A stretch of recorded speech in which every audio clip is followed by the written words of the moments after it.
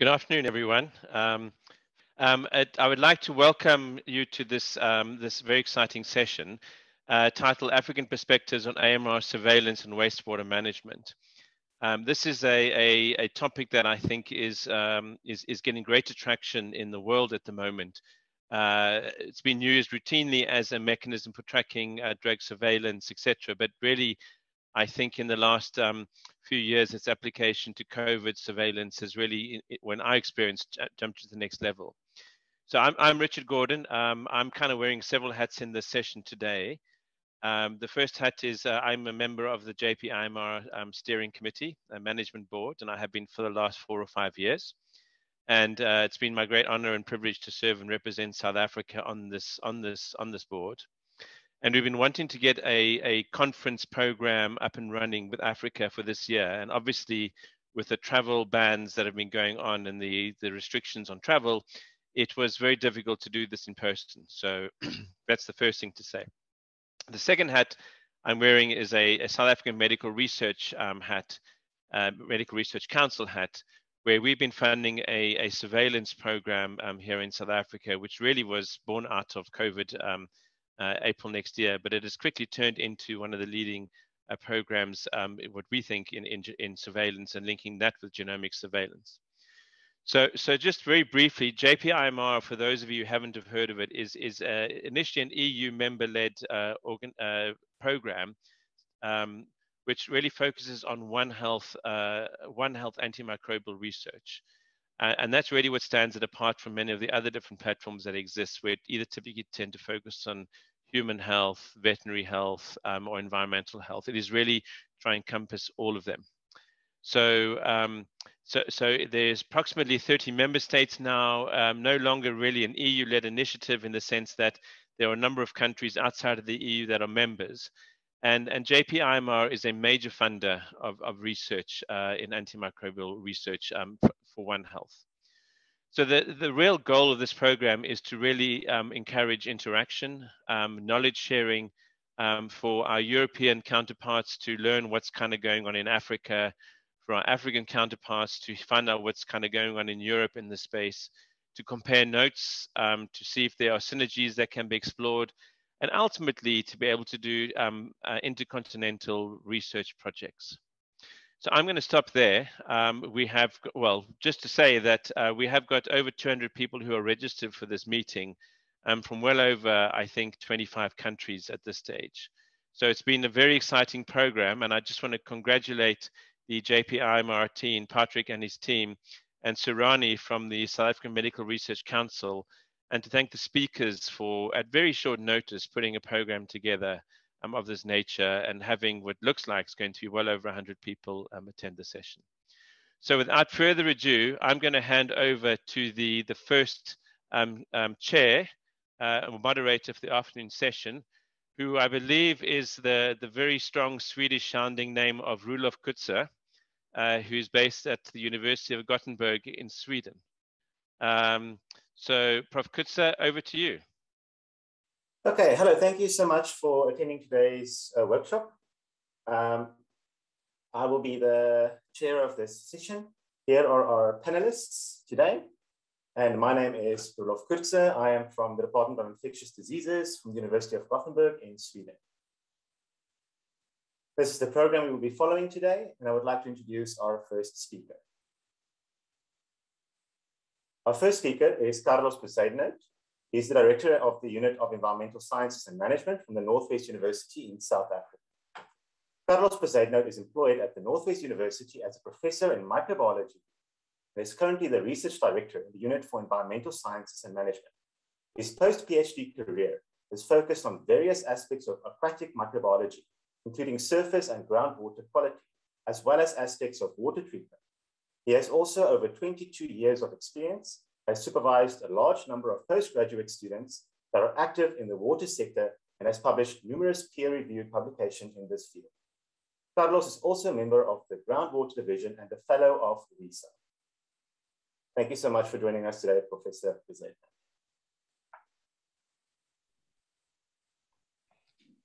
Thank you, Rulo, for that kind introduction. Can I start sharing my screen? Ro, thank you for that introduction. Uh, ladies and gentlemen, uh, good afternoon. Um, I've decided to change the title of the original. Sorry, let me start my video. Yeah. Can you see my video? Right. I've, I've decided to change it slightly just to focus in, in general on AMR in water and then potential risks for Africa. Um, so water is that global linker that basically touches everything uh, that we touch and uh, uh, we use it and then um, it gets back into uh, the natural system. Um, so the question is then why should we, we be concerned about antimicrobial resistant drivers in the aquatic environment. Um, as humans, once we've used that water, it goes back into the environment, as I've indicated, but then it is used by um, the, the plants, uh, it gets back into uh, the system to be used by livestock, which is basically our food, um, and it will get back to us through our drinking water. So, um, and uh, as Richard has indicated, we should constantly bear in mind that there's one health approach to ensure healthy humans, uh, healthy animals, and the healthy environment is then critical. And then that should be the principle in which um, we manage this. But unfortunately, the situation is not as um, as clear and um, that uh, mortality rate, once we start talking about death rates, um, people tend to sit up and, and, and listen. Um, and if one consider uh, the WASH services, um, this is 20, 2012 uh, details, that indicate uh, in Africa, the mortality rate is quite high, uh, and that is due to consumption of uh, unsafe water.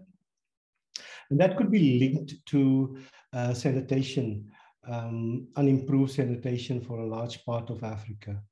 Um, we have parts of Africa that is absolutely uh, well in terms of uh, improved sanitation, but there are uh, a large part of Africa that is uh, not as well provided for. The uh, global snapshot of water quality um, have a number of, of points, but uh, I'm highlighting a few of them. Um, and the obvious one is that good water quality and quantity is essential for achieving uh, the sustainable development goals for health, food security, and water security. But since the 1990s, and it could be before then as well, the water quality uh, in Africa and in other low and middle income countries uh, has worsened, and that was due to water pollution.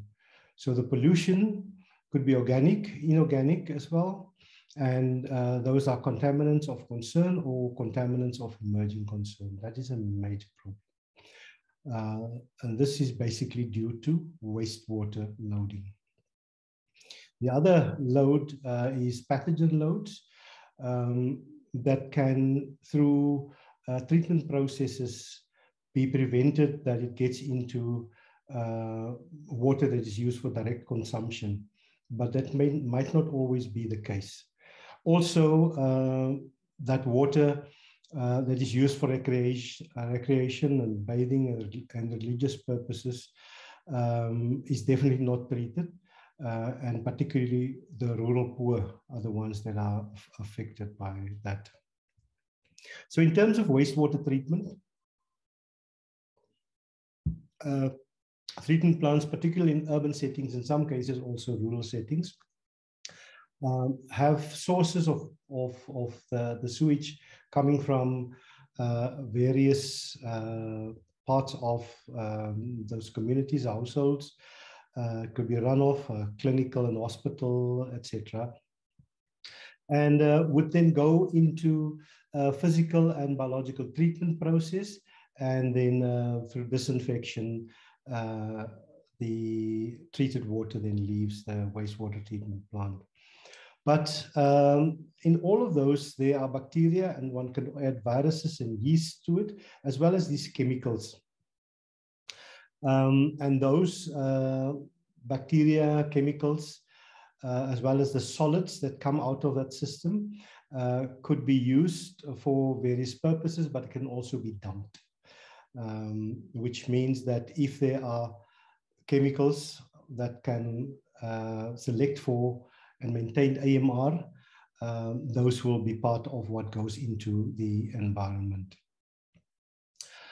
Now, if one considers that the, and these are just uh, bacteria and some yeast, the uh, WHO list of priority pathogens, uh, these ones could be potentially part of um, the bacterial consortium that leaves a wastewater treatment plant if that water is not, or that effluent is not treated properly. It could also be present in some of the, the solids that leaves and gets out into the environment.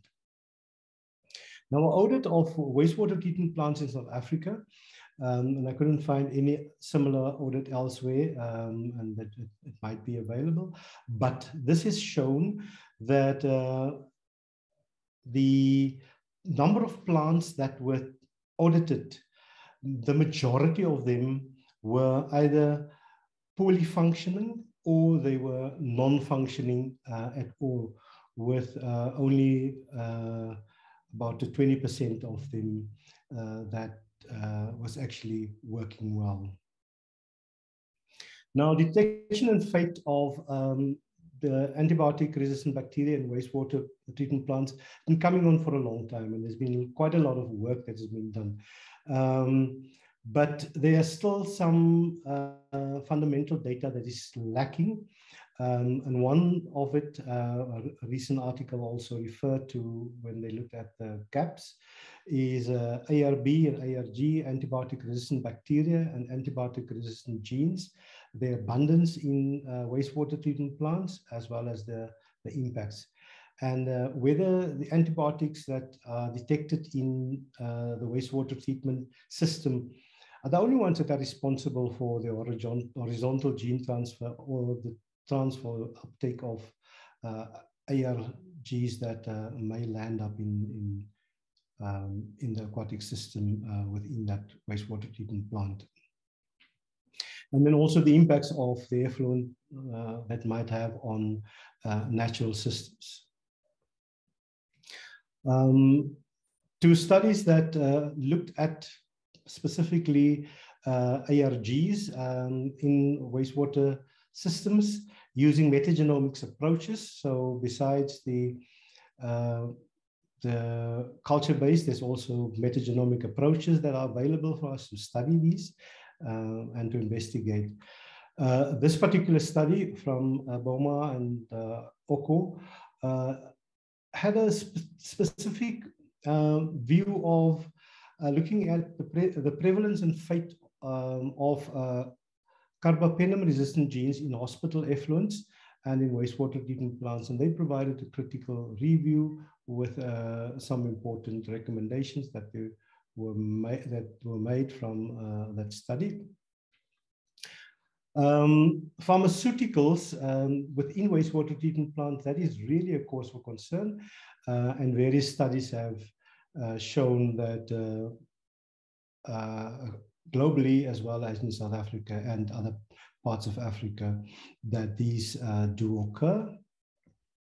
This particular study focused on um, antimicrobial use and uh, resistance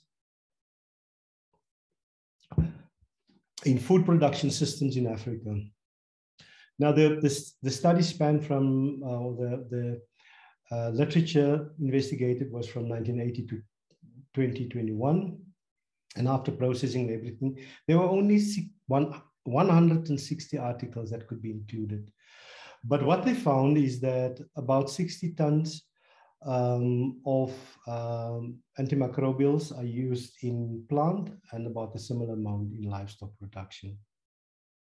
The study also found that reporting rates for uh, use as well as AMR resistance in Africa is very low, although uh, there's a positive sign in that it's increasing. Uh, between 27 and 30 countries uh, over uh, the last three years have reported their AMUs to the WHO and the Um, a comparison of um, pharmaceuticals in freshwater uh, aquatic systems between Africa and the European Union has shown that um, maximum concentrations in Africa, in some cases, were nearly 20 times, 20,000 times higher than in Europe. And that uh, measured concentrations in Africa uh, up to almost 8,000 times higher than ecotoxical, uh, ecotoxic uh, toxicity uh, endpoints. Now, these things are then in wastewater and uh, landing up in our water systems, or either through poorly treated or untreated sewage that lands up in it. It means that uh, our uh, agriculture, our food production and, and irrigation um, will definitely be negatively affected because of that contaminated water. But the contaminated water will also result in um, the particularly rural communities within um, Africa that makes use of these water sources for various uh, purposes. So there are lessons that we could uh, take um, from this. This is sketching the, uh, a scenario um, that um, there are certain lessons uh, that is out there and that one can take forward uh, into addressing the issues within Africa. The one, and I get back to the crude death rate. Um, the crude death rate in the US between nine, 1900 and 2000 was dramatically decreased because of certain interventions. Chlorine, uh, the use of chlorine um, uh, within municipal drinking water systems, as well as the age of uh, antibiotics, as well as vaccines, has done a huge amount to ensure that uh, that death rate decreased.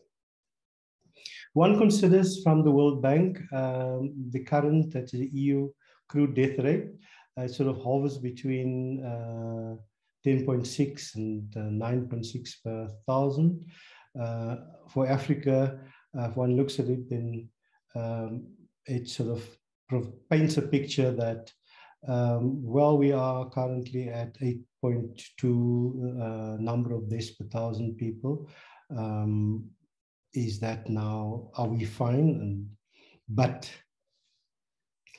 uh, with AMR being a looming uh, disaster uh, and the increase in the number of deaths uh, that are occurring, are currently occurring and will occur, that currently there are about 700,000 people globally that's dying of uh, AMR related causes, and that could increase to 10 million in 2050.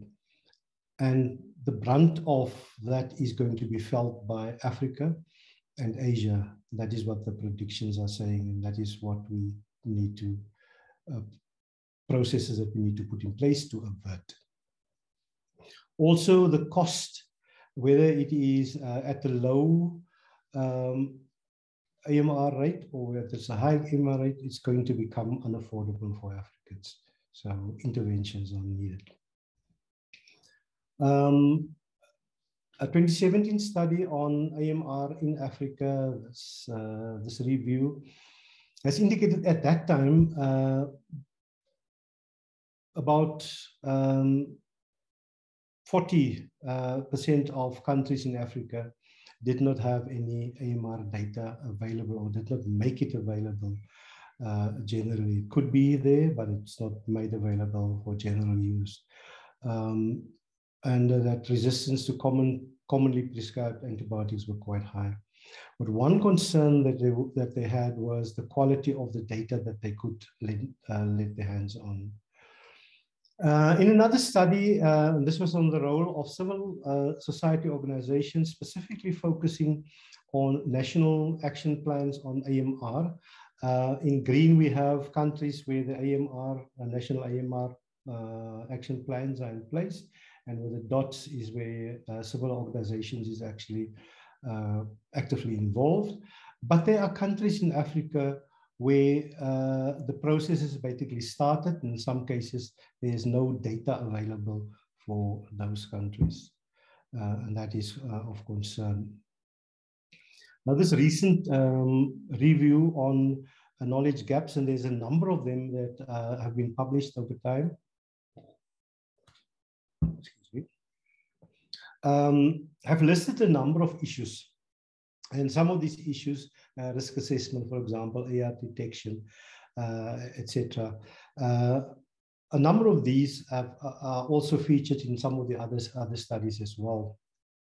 And uh, we are aware of these knowledge gaps, and there are certain solutions that are being proposed. And some of this is what um, the, our, we as scientists from Africa could uh, uh, look into and, and, and specifically um, with counterparts from elsewhere start investigating so we have a set of knowledge that's available uh, from local uh, scenarios. There is the World Health Organization with an annual um, World uh, Antibiotic Awareness Week with a number of programs that are taking place. And just recently we had uh, these events taking place, um, some of them were hosted locally, uh, where we involved some uh, uh, scientists from elsewhere in Africa, but also it was mostly, in our case, local participation. But there's opportunity um, for expanding this, and these are uh, some of the calls that we've put out, and that was 2020 as well as 2021. And the one, the last one year in blue on the 18th of November, that is was a symposium where we had uh, a number of uh, speakers from elsewhere uh, in Africa involved. so some of the take-home messages uh, that I think uh, might be important is that these antimicrobial residues, the bacteria, the genes in sewage and in wastewater effluent is a grave concern.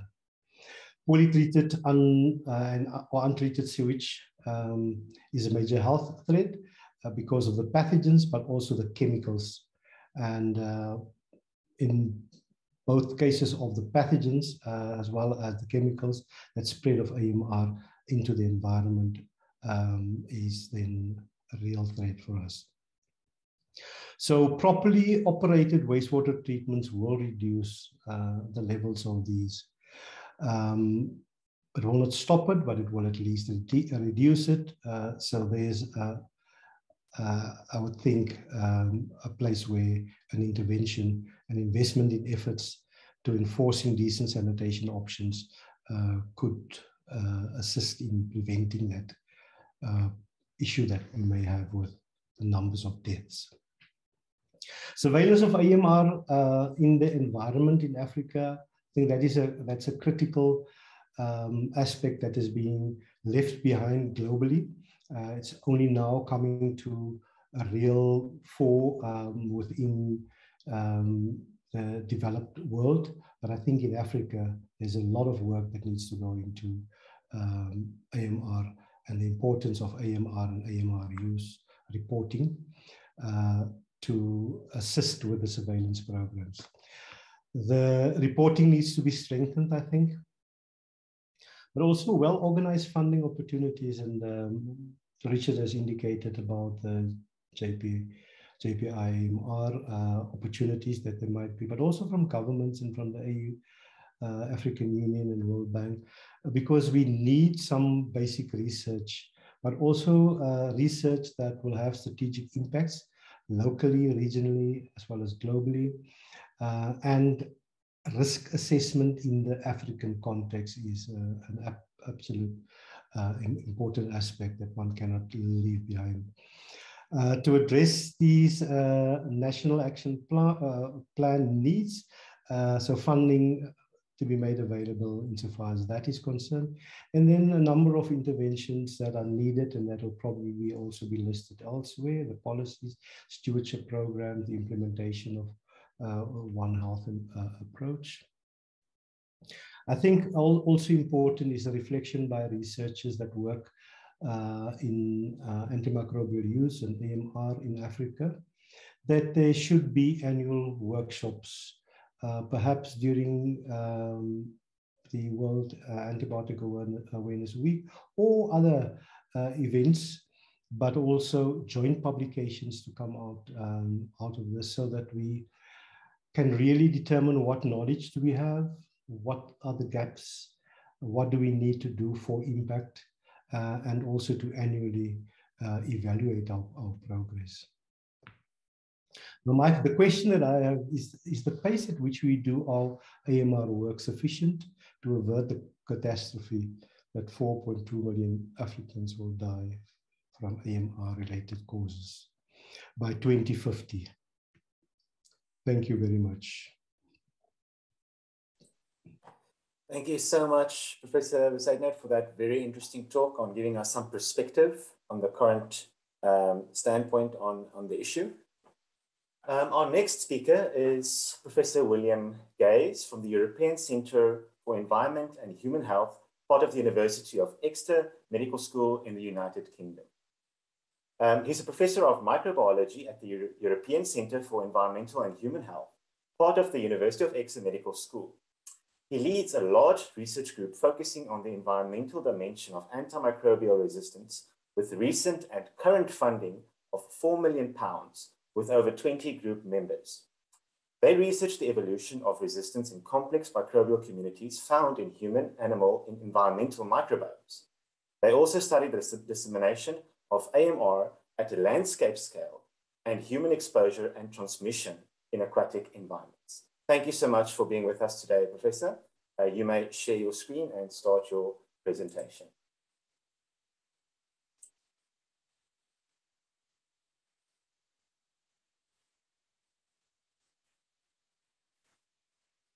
Okay, can you see my screen? Yes, we can. Great, thanks. Okay, right, I'll get started. Well, thank you very much for the invitation to speak to you today.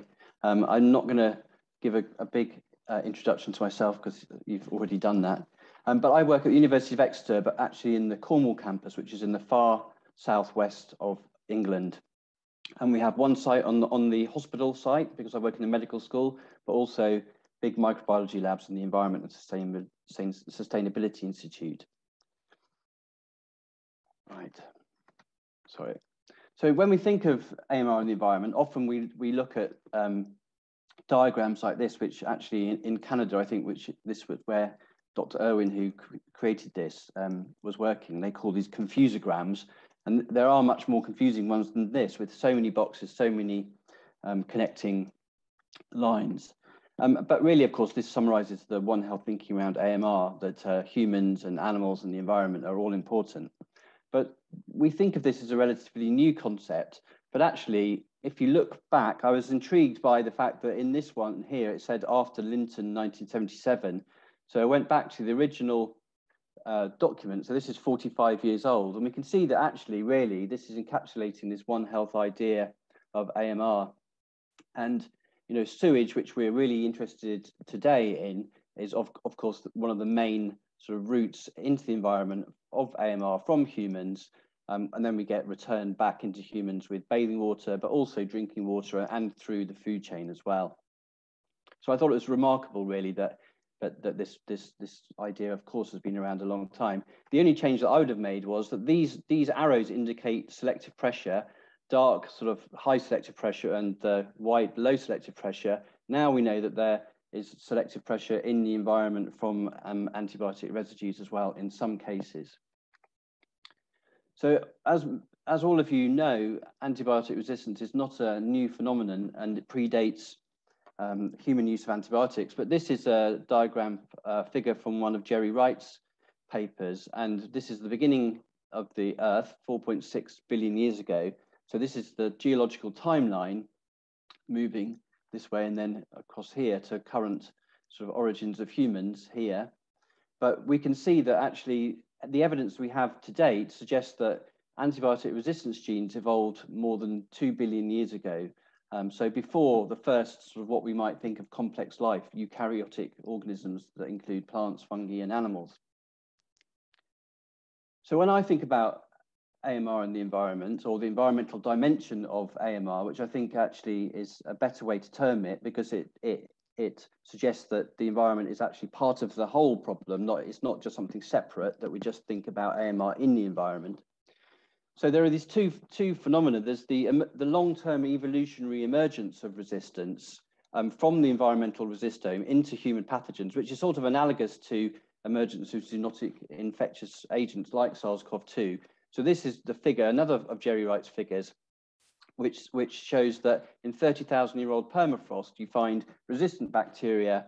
If, you, if they are resistant to clinical antibiotics, you clone out those genes that confer resistance into modern bacteria, they confer resistance. So this is this long-term evolutionary process. The other of course, which I think most people think about, they think about acute AMR transmission risk. So what is your actual individual risk of being exposed to and um, contracting an, an AMR infection from an environmental exposure? So these are obviously interlinked, but they're, they're two different processes, I think, and we need to think about them in slightly different ways. So I'm just going to develop this analogy between AMR and um, COVID-19 a little further we know that zoonotic infections, it's wildlife reservoirs of viruses that spill over into humans. Most of the time that doesn't achieve pandemic spread, but in some cases it does. If we think about AMR, we have these mobile resistance genes on plasmids, which actually many people think are related to viruses. Um, these are actually infecting or they are residing within as selfish entities. Um, sometimes they kill bacteria, they're not part of the bacteria um, within complex microbial communities, sometimes those genes, those mobile elements move into human, the human associated bacteria, human microbiome, and occasionally those genes then achieve pandemic spread within the human microbiome and causing infections globally. So we can see these waves of genes like NDM and MCR that have, have, have been disseminated globally. So actually, it is almost the same process. We talk about AMR as a pandemic. It, it is a pandemic, but it's it's multiple pandemics of multiple multiple agents. And one of the remarkable things I think that's that's emerging in recent years, and this is a paper by Collignon et al. looking at um, resistance in E. coli to uh, 3GCs and um, fluoroquinolones, but looking at antibiotic daily daily dose consumption globally and looking at resistance. And there's no correlation between antimicrobial usage or antibiotic usage and resistance. And this is, may not be true for all organisms, AMR organisms, but you know, this this this idea that really it's only about AMU in humans, um, so it's just about stewardship and that will solve everything. Um, of course, is far from the truth as, as, as many of us realize, but I think it's worth reiterating that. And in this paper, they concluded that a high prevalence of, of AMR can be more likely attributed to the the dissemination of antimicrobial resistance, especially via poor sanitation and contaminated potable water. Um, and I think that this obviously, as we just heard in the last talk, some of the, some of the um, pollution issues are accentuated in low and middle income countries, but even in countries like the UK, we have large amounts of raw sewage discharged into the environment. And we also have treated wastewater that still contains antibiotic residues and, and, and large, very large numbers of resistant organisms. So it, I think it's important globally, but it's more important in some places than others. And if we think about sewage specifically, this is a very nice diagram from Tong Zhang's group in Hong Kong, where these are round on the left-hand side, these are different sewage samples, and then these are the genes, so tetracycline, sulfonamide, whatever, all around on the right-hand side and then just showing which genes are in which sewage samples. So basically it just shows that sewage is full of resistant resistance genes, which, which we sort of, of course, know, but this is a, a good way to demonstrate that. And, you know, we can't really not talk about the, the Danish Global uh, Sewage Surveillance Project, which is, you know, sampled from, I think, now well over 100 um, countries, but this, this initial paper was based on um, 60 countries. And they found that, again, there doesn't seem to be a lot of uh, correlation between antimicrobial usage, antibiotic usage, and AMR. They also found that there were differences in diversity between Europe, North America, and Oceania, and Africa, Asia, and South America. Um, and they also found that there were strong correlations with socioeconomic health and environmental factors. So, you know, and this, of course, this predates the use of wastewater-based epidemiology for SARS-CoV-2. Um, a lot of people think it's something that's that's been established during the pandemic, of course, but but actually it's been used widely, not not in the at the scale that we're seeing it at the, at the moment for for for SARS-CoV-2, but but we but this is just an illustration of how it's been used for AMR in the past. So our own work, um, maybe I've been working in this area for uh, nearly 20 years, um, and we started thinking about sewage, looking at sewage sludge that was applied to land um, and, and things like that. And then actually in the UK, it's been quite hard to access uh, sewage treatment plants because they're, they're, they're, private utilities. Um, so we, we started looking upstream and downstream of wastewater treatment plants. And this paper here by Greg Amos um, showed that there were big differences in sort of uh, CTXM15 bearing um, Enterobacteriaceae downstream of a treatment plant in the UK compared to upstream.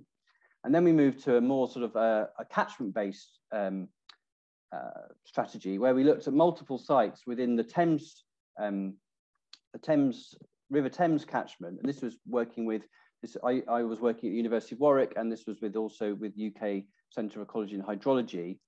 And we we um, this is all part of Greg Amos's PhD, and we did a uh, he did a transect of the River Thames, taking multiple samples and just looking at uh, class one integrase as a marker of resistance. So these are different sites in the top right with four samples, um, sampling time points per site.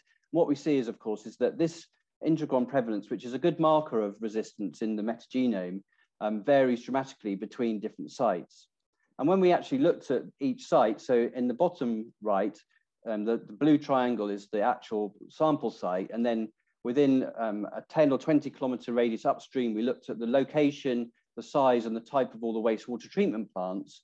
And then if we did some sort of correlative analysis on the, on the bottom left, well, basically we can actually predict the prevalence of these markers of resistance quite accurately. And the biggest determinant is the distance from size of and type of wastewater treatment plant. So this really tells us that even in a country with, with quite good water, wastewater treatment, we're having a really big impact on, on AMR um, in the environment. And then we moved on with the, the same team actually to a much bigger metagenome based project, which was still actually, it's very complex data set and we're still writing that up. This is one, one figure from that. So this is basically looking at um, the association between a source tracking marker for human sewage and the relative abundance of, of resistance genes. So looking at you know all the 4,000 AMR genes that are in most databases. So we can start to see these are the genes that are really strongly linked to human sewage um, impact. So maybe these are going to be new good surveillance targets in the future. And again, yeah, this is work done by um, with Liz Wellington and Andrew Singer at the um, UKCEH. So other work we do is looking at evolution resistance. So um, going back to the previous talk, uh, thinking about antibiotic residues in the environment, we, we people measure them, measure the antibiotics and they measure AMR and they often co-correlate because they're coming from the same source, but it doesn't actually indicate there's any causal relationship between those environmental residues and the AMR bacteria in the environment. So there's other groups that are working on this. So Joachim Larsson's group done a lot and Dan Andersson's group has also done a lot on this. Um, and what we've done is basically use a experimental evolution to look at complex microbials of communi uh, microbial communities that we passage um, uh, for a week daily uh, uh, across a whole different range of antibiotic concentrations. And what we find is that we can, we can determine experimentally thresholds for selection for um, different markers, in this case, again, intI1, but we've also done full metagenomics and this for ciprofloxacin, for example, we see significant increased prevalence at 15 micrograms per litre, um, which, which um, is, is on the high end of what we might find in um, sort of European um, waste uh, river uh, aquatic samples, but it's in that sort of order of magnitude. There are other estimates based on diff different approaches that, um, that put that lower or higher. But it really, the take home message is that environmental concentrations of antibiotics are likely to select resistance. And this is another paper uh, by, um, by a colleague of mine, uh, which has basically tried to risk assess based on these experimental thresholds. Um, and this is for a range of antibiotics. And basically it shows for several antibiotics, there's a risk of selection based on European um, environmental concentrations um, that, that selection may occur. And then moving on from the sort of the selection, so we've looked at landscape, landscape scale dissemination, then the sort of the evolution, now the sort of what are the exposure risks. And we've done a lot of work working with the um, UK Environment Agency, um, who um, monitor bathing water quality, so coastal bathing water quality where people swim. So we use their samples to estimate population level exposure to 3GC um, resistant E. coli. This is work of my colleague Anne Leonard. Um, and she estimated there's about 6 million recreational sessions that occur every year where um, ingestion of 3GC resistant E. coli occur. So of course that we don't know what that means in terms of gut colonization and infection, but the next study that she did was, was looking at in a bit more detail.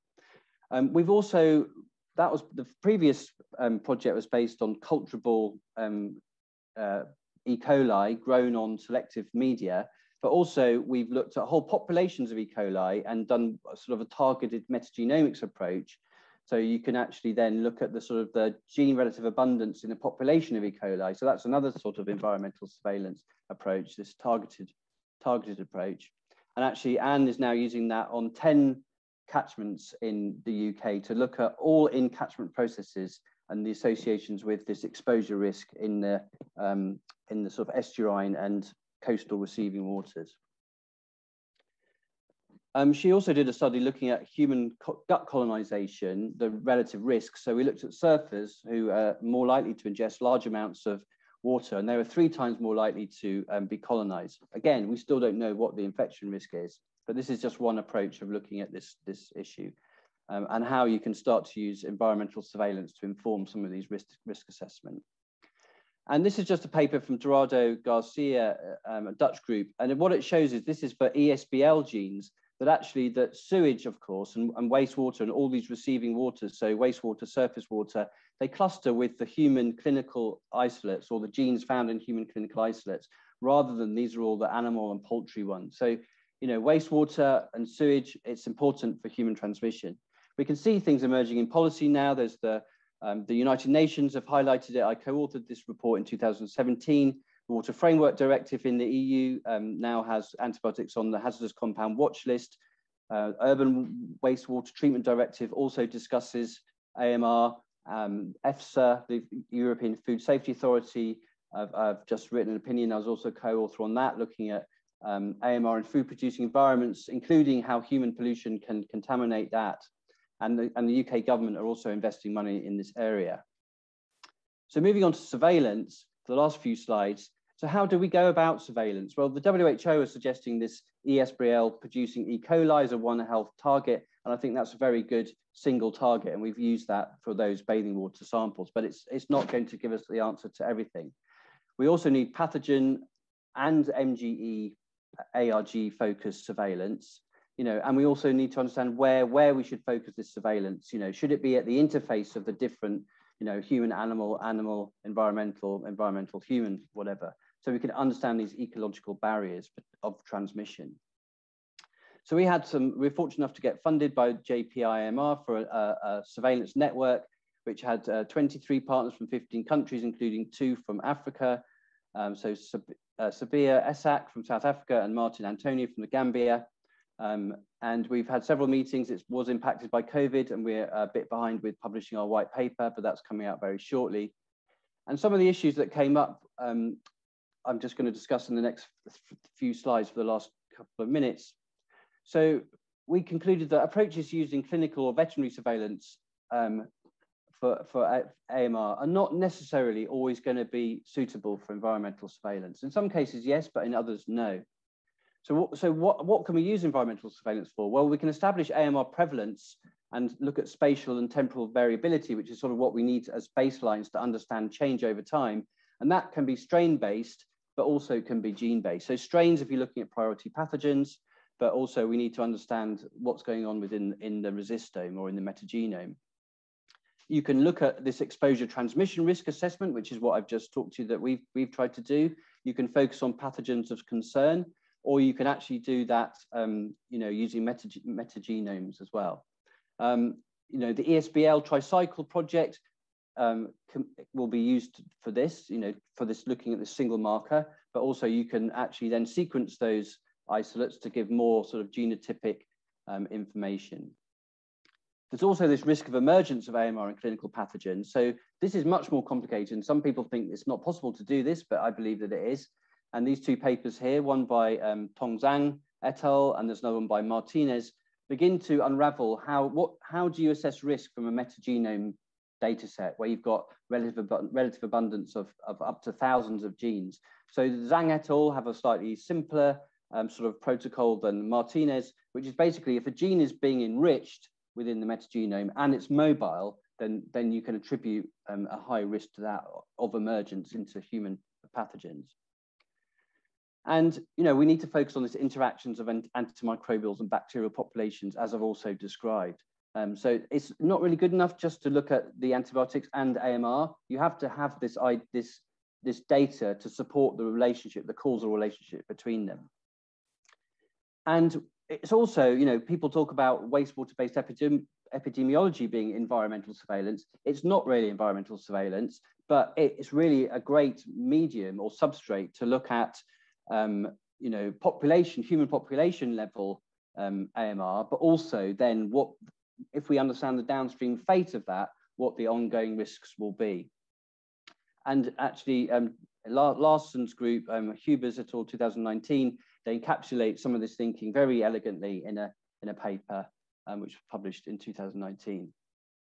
So barriers to adoption, there are concerns that environmental surveillance will reduce funding prioritization of clinical or veterinary surveillance. There's a historical focus of Environmental Protection Agency on chemical monitoring. Um, so we need to move more towards thinking about bacterial. There's very isolated nature of government laboratories in different One Health sectors. There's a lack of awareness of the complexity of the environmental resistome and how it relates to AMR in the clinic. Um, and also because if you look at um, pathogens in sewage, they are human, variant. So actually genomics can't attribute environmental um, source attribution. So that's an important issue. My final summary, I know I'm going a little over time. So AMR wastewater-based epidemiology is only one component of AMR surveillance, environmental surveillance, and it's not really environmental, but actually it's very important to know what is going into the environment as well as what, what um, you know, AMR is in the human population. So we should focus on um, extant priority pathogens, but also critically, we should look at how um, genes are being enriched and how they're moving between bacteria through horizontal gene transfer and ultimately emerging in human pathogens. We, you know, we know investment in sanitation and sewage treatment infrastructure correlate with AMR prevalence at a global scale. So that if, if there's one thing we can do, that is something that needs to be a focus of investment. And just finally, AMR surveillance is much more complex than SARS-CoV-2 surveillance and we should be careful not to underestimate the power of environmental surveillance to enable understanding and management of AMR in human populations, but also to understand environmental transmission risk and this risk of emergence of AMR from the environmental resistome. So thank you very much. Thank you, Professor, for that very, very informative uh, talk. Um, and I think one key factor that's popping out here is what are the risks and how should we prioritize them? Now I'll be presenting our next speaker for today, uh, Professor Vincent Chigor from the Department of Microbiology, Faculty of Biological Sciences, University of Nigeria, Nsukka in Nigeria. His PhD research assessed the, quality, the water quality, incidence of enteric viruses, and microbial risks in the Buffalo River in the Eastern Cape province of South Africa. Prof. Chigor's research into microbial freshwater pollution and the associated risks is continuing. He has demonstrated the survival and persistence of multi-drug resistant Escherichia coli 0157 in surface waters used for freshwater produce irrigation. Comparative molecular analysis of environmental viral bacterial pathogens versus clinical strains will shed light in molecular epidemiology and the dispersion of virulence antibiotic resistance genes. Professor Chigor's research also focuses on natural products with antimicrobial activity, especially from plants, as a solution to the enduring problem of microbial resistance to antibiotics and the growing emergence of multi-drug resistant strains of pathogens. Thank you so much for being with us today, Professor. You may uh, share your screen and you may start your presentation.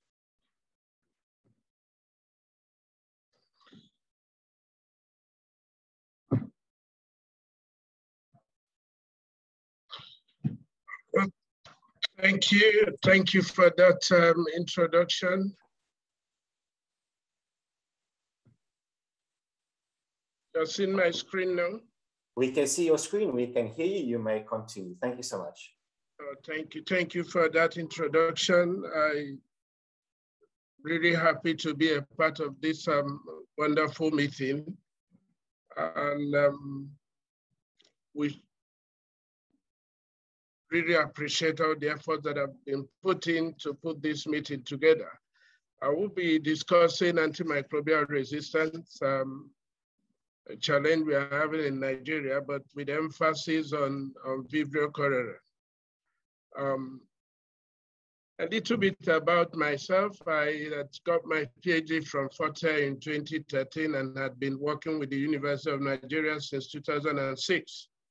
Um, today, I lead the Water and Public Health Research Group here, and um, it's an interdisciplinary group, so we have um, a wide range of uh, research interests, quite multidisciplinary.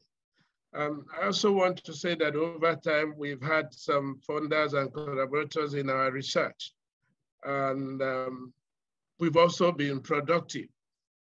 We've been productive, and um, that's about it. Thank you for the wonderful introduction.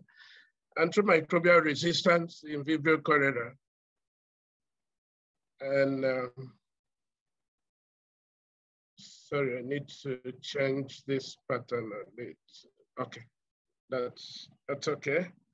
Um, antimicrobial resistance of Vibrio cholera, assessing the role of aquatic environments in an increasing challenge in Nigeria.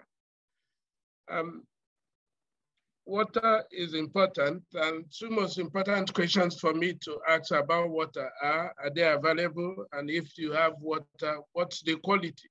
What's the quality of the water?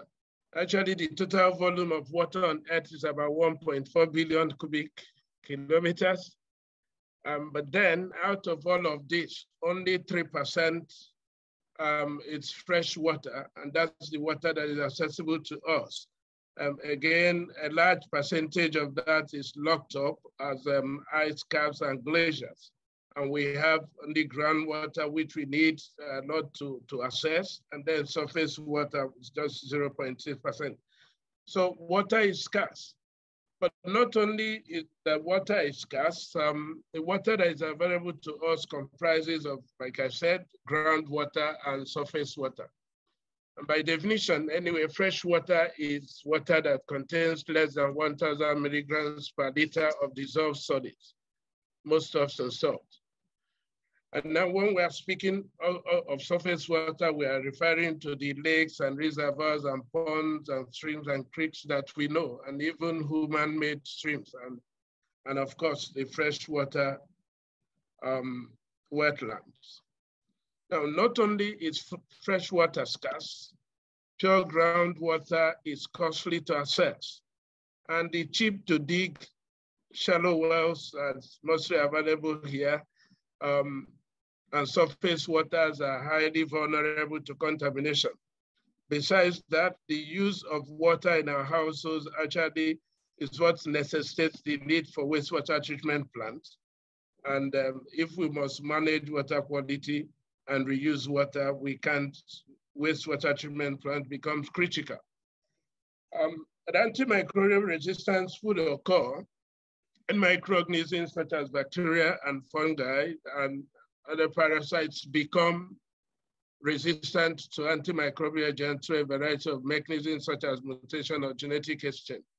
Now, resistance can occur in the human and animal host or in environmental settings uh, where the release of excreta and the presence of antimicrobial agents and other pollutants uh, deplete microbial populations and then could favor the persistence of resistant traits. Pollution favors um, selection of resistance in human and, um, and, and as well as animal and environmental microbiomes. And the spread it's, is a huge global problem. Now, the role of water bodies in AMR. Water body can play a role in environmental dispersal, dispersal and transmission of AMR in three ways. One, dispersal resistant pathogens via water, resulting in the transmission of disease-causing pathogens to humans and animals and plants. Thereby increasing, this would increase the need for treatment and with antimicrobial agents. And the sec secondly, silent transmission of resistant microorganisms with low pathogenicity will allow, you know, will become evident when they infect particularly vulnerable populations uh, or their genes are transferred to pathogens causing infection. And finally, the release of fecal and other pollutants, including antimicrobial compounds into the environment may promote resistance by creating conditions that favor um, transfer or emergence of new resistant genes. So in the freshwater settings, um, like already mentioned, they are susceptible to fecal contamination. What will result is that because when the contamination happens, uh, microorganisms are introduced as well as organic matter. And all of this and the presence of, of this will encourage the sharing of um, pathogenic uh, resistant determinants. In the contaminated aquatic environment, genetic materials can be shared between bacteria under selective pressure from antimicrobial microbials, thus causing spreading AMR determinants across environmental bacteria and, and the pathogens that come from humans and animals. And then with respect to the wastewater treatment plants also, we just um, find out that they, they are very, very contaminated aquatic environment. And what happens is that um, bacteria under selective pressure from antimicrobials, you know, can share um, not even just antimicrobial, the other agents like herbicides, a lot that flows through sewage. Um, then that makes them very important receptors and sources of antimicrobial resistance and would also favor horizontal gene transfer between uh, bacteria from different habitats. We already know that um, the both um, gastrointestinal tract and urinary tract pathogens are abundant in sewage, and it's thought that wastewater creates the condition that will heighten the risk of horizontal gene transfer between both groups of pathogens. And the situation in Nigeria. Um, Nigeria's population of about 200 million is about 20% of that of sub-Saharan Africa. But the current practices for water and wastewater management are insufficient to ensure safe and basic uh, sanitation. By the end of 2020, only 54% of um, people in sub-Saharan Africa use safe drinking water. Now, I want you to imagine Nigeria, imagine a country where cattle feces contaminate surface water, contaminate surface water because cattle is reared free range and in-situ had watering happens. Um, imagine uh, the untreated sewage is dumped into rivers and streams.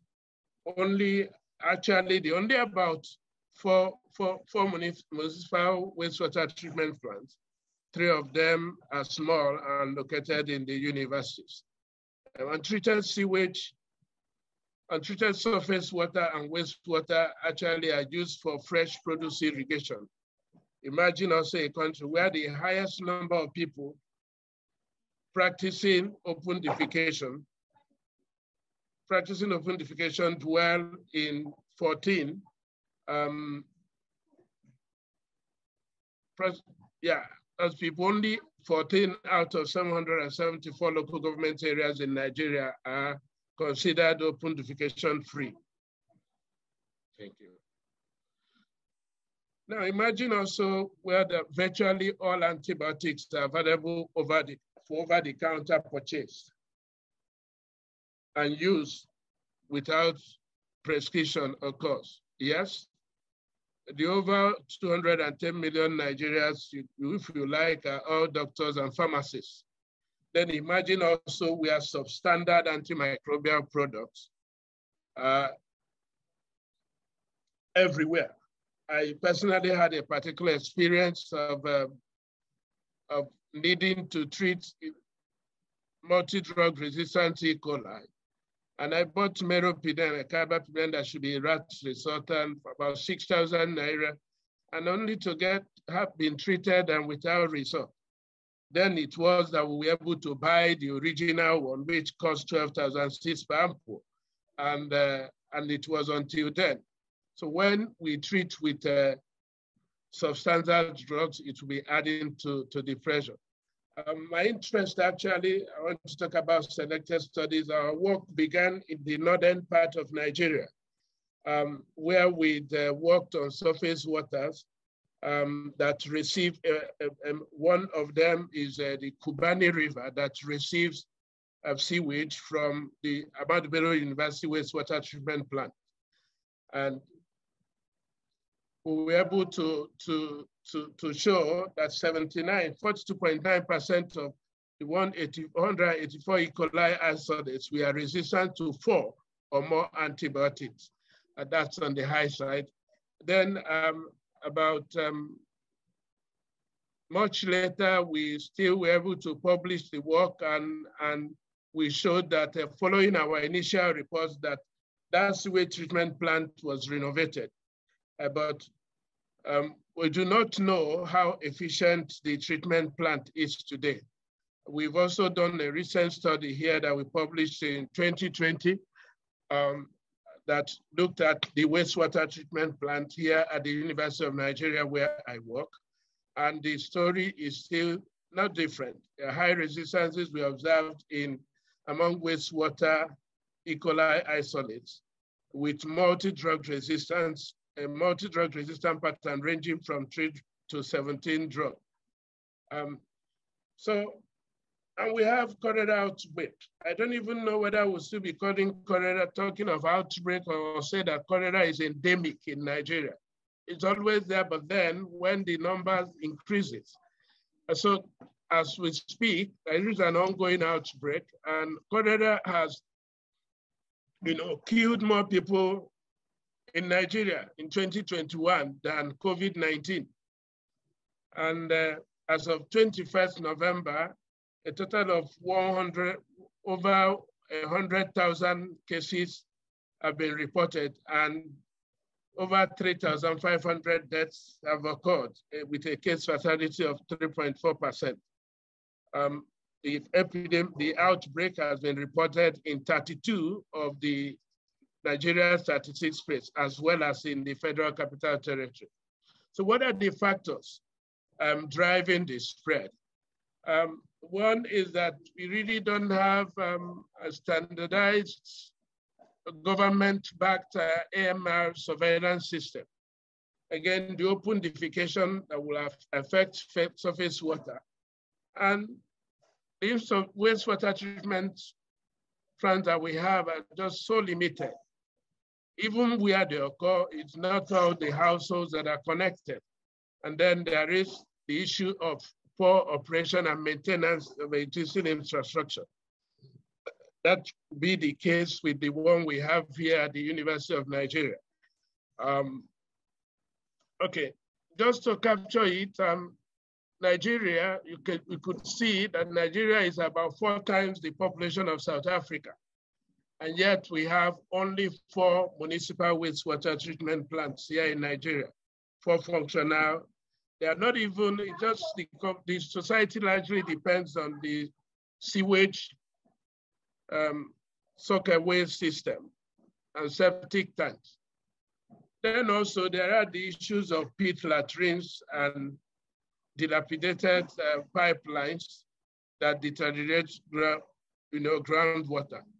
Then, and this that I must share with us, um, continued discharge of untreated sewage into surface water. A sewage is not treated and just tankers will abstract from the, from the septic tanks and just dump them in surface water. So what are we doing? Um, we were able to establish a collaborative relationship with Abuja Environmental Protection Board, and we are looking at, we are studying um, the Abuja wastewater treatment plant.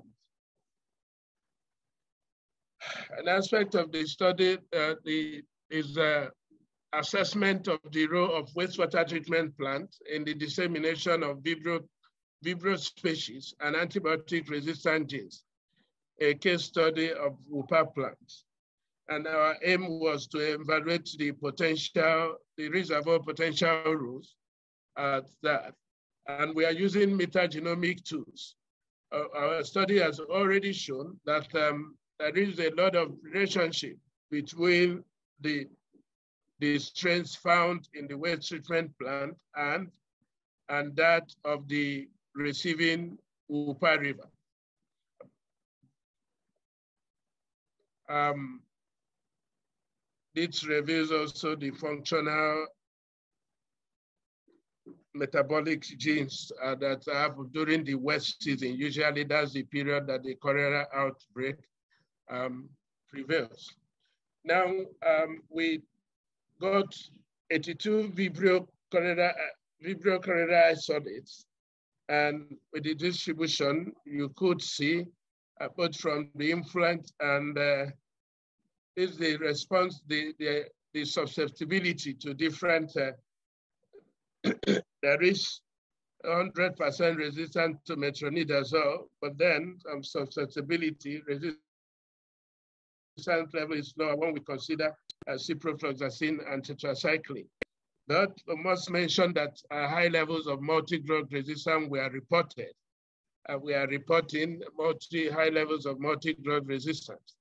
And as you could see from here, um, this the percentage with MDR compared to the total number of isolates um, is actually high and expectedly it is lower at the upstream section showing that um, the discharge, which is high, has affected that. So this is the downstream um, where we're having almost 60% um, level of uh, multi-drug resistance.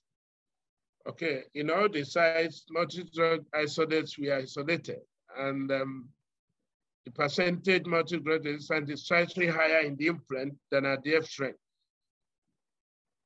So again, we are looking at, we are, a part of what we are doing is that we're expanding beyond, since we don't have lots of wastewater treatment plant and surface waters are receptions of, of waste, we are expanding beyond wastewater treatment plants to, to look at surface water samples. And um, in this particular study, we were looking at the impact of, um, we studied the Asata River as one of the major rivers that drain Enugu metropolis.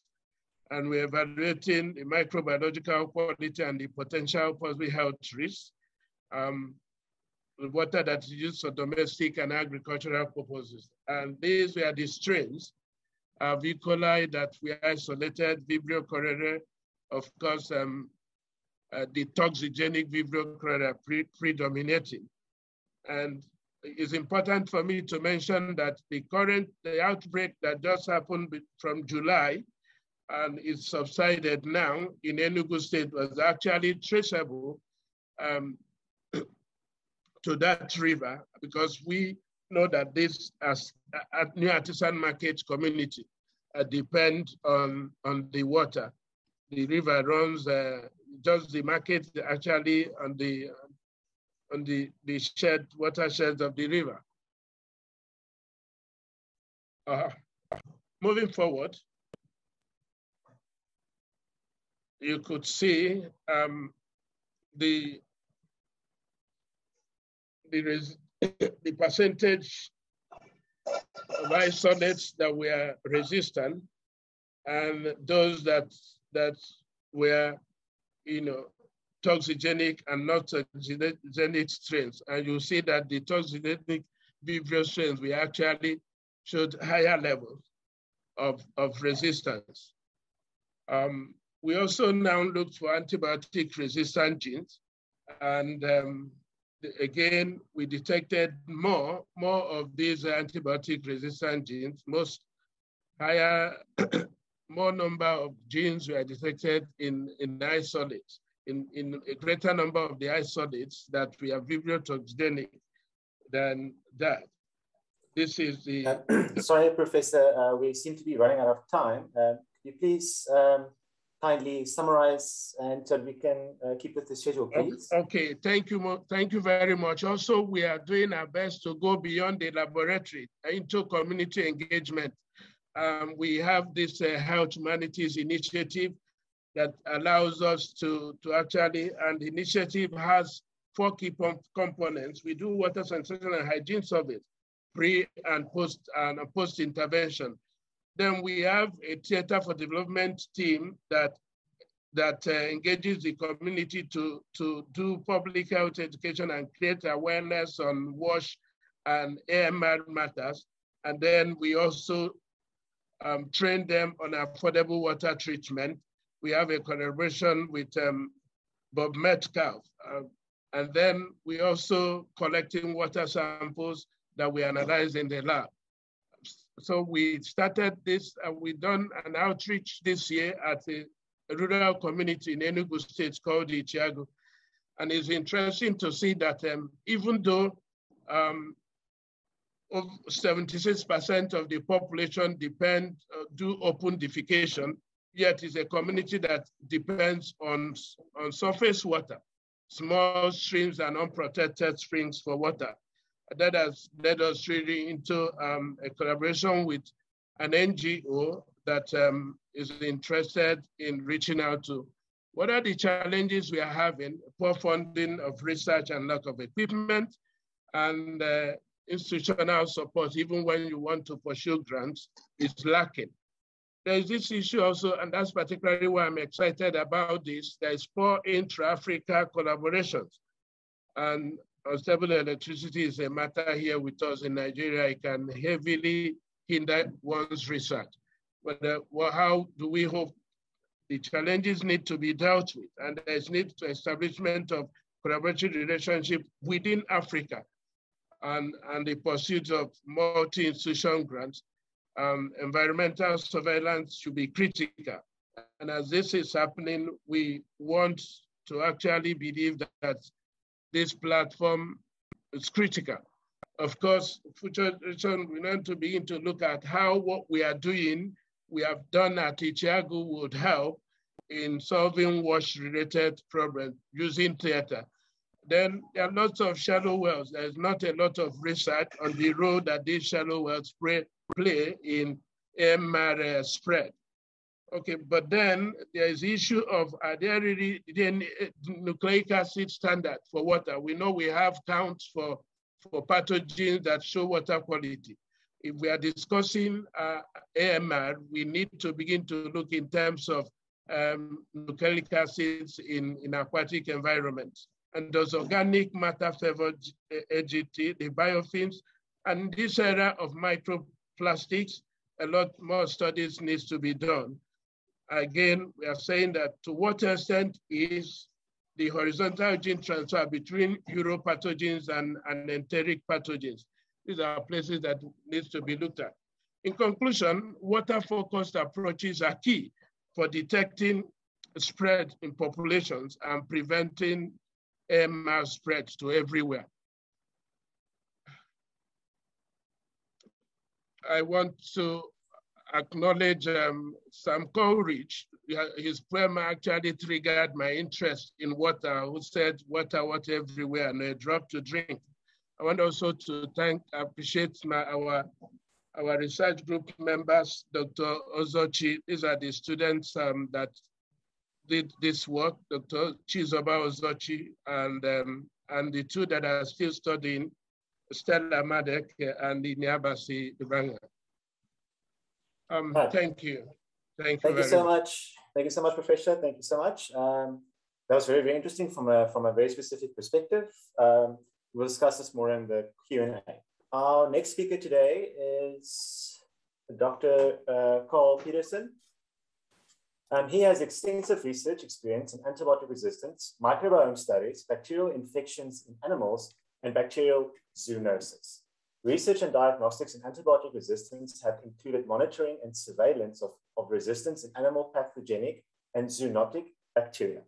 Studies on bacterial infections have included a long array of animals, including production animals, aquaculture fish, companion animals, and wildlife, while studies on zoonotic bacteria have mainly been focused on Salmonella, Campylobacter, and MRSA. The research has included resistance epidemiological studies, among other things based on whole genome sequencing. Research in microbiome has included mapping of the intestinal microbiota in broilers and how their composition is affected by different feeds or by infection. Other microbiome studies have analyzed the composition of the microbiota on skin and nose in pigs, as well as the effects of antibiotic treatment on the microbiome and resistome in pigs, treated or not with antibiotics. Thank you so much, Doctor. Um, do not feel rushed. We can steal a minute or two from the Q&A and the tea break. I will focus my talk here on monitoring of antimicrobial resistance uh, in One Health uh, perspective, and that's because it's my laboratory here in Uppsala, which is running the uh, the national surveillance program for antimicrobial resistance in animals and in, in food.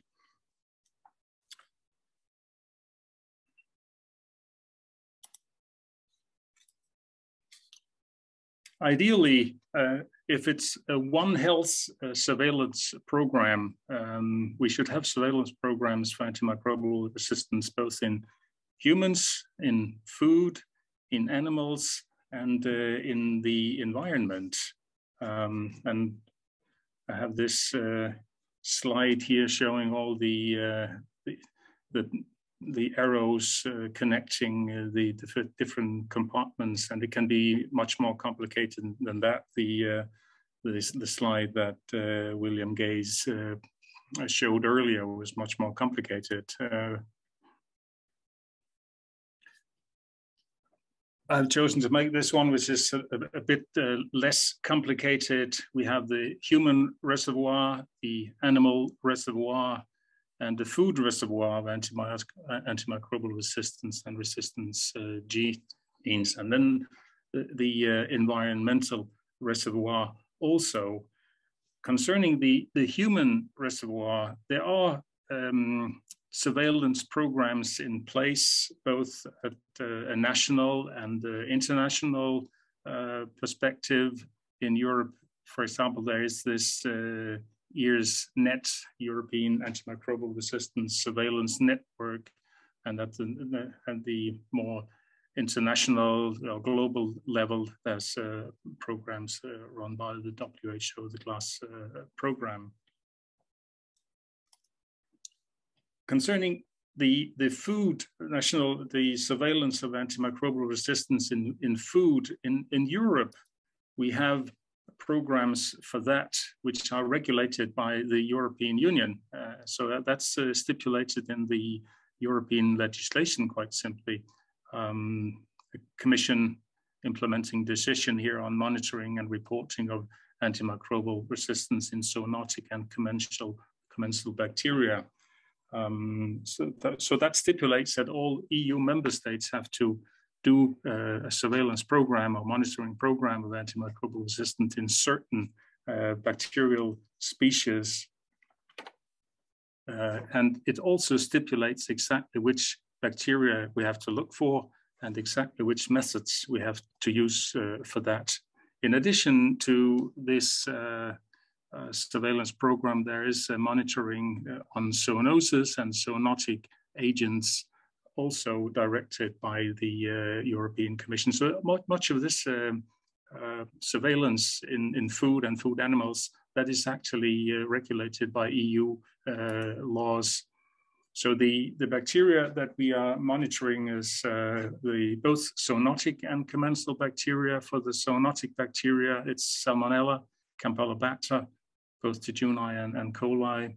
And for the commensal bacteria, it's uh, E. coli, uh, not pathogenic E. coli, but randomly selected uh, E. coli from uh, healthy animals, and likewise for the enterococci, Enterococcus faecium and Enterococcus uh, faecalis.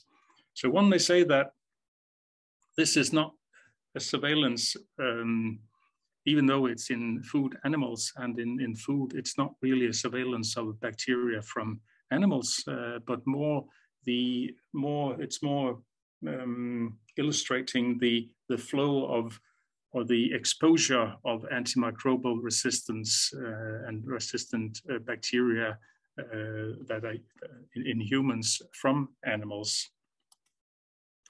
When it comes to the animal reservoir, the bacteria that makes animals uh, sick, we have much less uh, knowledge. Um, in Sweden, we are so lucky that we have a, um, a combined uh, monitoring program where we both have the, the uh, surveillance uh, of antibiotics in, in, in, humans and in uh, this EU regulated program. And then we have what we call the SVARMpat program, which is monitoring of antimicrobial resistance in bacteria, which are pathogenic uh, for animals. So we have a united program here, but far from all countries uh, have that. It's actually very few countries which have that. Um, however, in the European uh, Union, we are now a group of uh, laboratories uh, which are trying to establish such a um, surveillance network uh, for bacteria that really are pathogenic uh, for, uh, for animals and not just for humans. We call it EARS net is vet as opposed to the EARS net system, which is operating in, in, in, humans. So that would be then a combined, so to speak, uh, surveillance program for um, for human clinical bacteria, for veterinary clinical bacteria, and for the bacteria, commensal and zoonotic bacteria that uh, are transmitted between animals and uh, humans the, the Swedish program, and that also goes for this uh, EARS-Vet program that some of us are trying to, to build up now. Uh, there is no uh, component of antimicrobial resistance in the environment, uh, not whatsoever. When it comes to the, to the environment, it's much more complicated to have a surveillance program. There is actually a, a working group under the uh, EFSA, the European Food Safety Authority, which has suggested to expand the, uh, the EFSA surveillance program, the EU surveillance program with um, a surveillance in um, environmental samples, but it's very difficult to, to identify that should be because a surveillance program for in environment, the big questions and uh, the previous speakers have already uh, um, um, mentioned that also what should we mon monitor and why should we do it? Um, from a, an EFSA perspective, the reason why we should um, monitor it is to measure the influx of antimicrobial resistance, uh, resistance genes and resistant pathogens into, uh, into humans and into animals. So what should, what should we monitor? Should we monitor wastewater, surface water, seawater, recreational water, whatever water um, bodies there are, or should we more focus on, on soil, maybe wildlife, or something that the EFSA working group uh, suggested was that uh, at least for a start, we could start to look at uh, antimicrobial resistance in such products that were taken more or less directly from uh, from land, uh, agriculture fields, or from, uh, from the sea, such as fresh produce eaten raw, not any heat treatment, or bivalve mussels, uh, oysters, uh, for example, which are also eaten without any previous heat treatment. So that could be a, a start, but um, again, there's a long way because before we can have a, a, surveillance program for the environment, which makes sense because if it makes sense, we'll need to be able to uh, compare results from one country to another, maybe even from one continent to another. Um, and we are, we are not nearly there yet, uh, which methods to use, what to look for. protocols and, and how to sample and, and so on. Uh, that's a very long way to go before we have a, a an operating uh, surveillance program for uh, for the for the environment. The next thing I will talk a little bit about is a, a research program which has just started and where we are involved. It's uh, called pairwise um, dispersal of antibiotic resistance and antibiotics in water ecosystems um, an influence on livestock and aquatic wildlife. It has started now in September uh, this year and will end in uh, August uh, 20, 2024. It's a um, JPI AMR program with those uh, uh, partners here. There's uh, the National Veterinary Institute is the coordinator, and I'm the official coordinator at the moment. In addition to that, we have a research group from uh, from Norway and uh, another group from from Sweden, from uh, Linköping University, and a Spanish uh, partner, two Tunisian partners, uh, one of which is actually going to make a talk here later this afternoon, and then a, a partner from Uganda. So, so the hope is that uh, we will be able to investigate the uh, dispersal of antibiotic resistance genes, uh, uh, resistant bacteria resistance genes and antibiotics downstreams of wastewater treatment plants, and have the um, the opportunity to compare different geographical areas, um, which also means different uh, climate zones, but also different types of water. Uh, when we look at um, at uh, um, surface water, it can be seawater, it could be um, river water and, and, lake water. And an important role is uh, to look at uh, the role of wildlife, and we're going to focus on wild birds, uh, migratory birds, in the dispersal of antibiotic-resistant uh, bacteria and resistance genes, um, spreading to, for example, to agriculture fields, and, and how that's taken up uh, by uh, grazing livestock in these um, in these fields. So it will give us some information about the flow of antibiotic uh, resistant bacteria and resistance genes um, from wastewater to uh, wildlife to uh, livestock. And we are not going to look at the the food made from the livestock, but that would be the, the next point to, to see how it spills into back into human uh, health. We have these um, work packages here. The work package one is to look at the methods and protocols and so on, because and that is what we are working on right now, uh, focusing strongly on, on the, the protocols and harmonization, because we need to make sure that all partners in the consortium are using exactly the same uh, protocols to sample and to analyze uh, the samples to make everything uh, comparable. And the other um, the, the other uh, work packages is to look at the dispersal of um, antibiotic uh, resistant bacteria uh, downstream of, of uh, wastewater uh, treatment plants and uh, look at um, antibiotic resistance in uh, grazing cattle and, and water and how they are um, disseminated through wild birds. I think that has that was uh, my time is, is up now.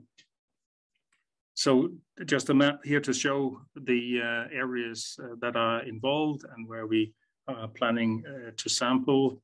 It's uh, in, in, in Norway, Svalbard and Lillestrøm, and, and in Sweden we have three places we want to, to sample. Tunisia, also uh, places to sample, and in, in Uganda, it's both a river and, and lake water that uh, we are going uh, to sample and, and to analyze. Thank you for listening. The next part of this workshop will be to move into a uh, Q&A session. I encourage everyone to please, if you have any questions regarding the first four speakers' topics um, and the collective theme, please submit them and then we can discuss them with the speakers. Um, to start off, um, I'm going to uh, throw out some general points that I picked up from these um, um, from these talks, and then try to summarize them um, so that we can discuss what it means. So one major topic that popped out was the One Health perspective. And to the, um, as a, a collaborative approach, what does that mean to the general public in terms of combating antimicrobial resistance? Um, if one of the, the panelists would mind addressing that. I can have a go. Yes, um, please. I'm, I think to the general public, it probably doesn't mean anything. Um, so that's the answer. And I think actually to a lot of pol um, policymakers and even scientists, it's not clear exactly what it means. Um, you know, and I think it's because the, the concept of One Health has evolved from really being confined to animal health and human health.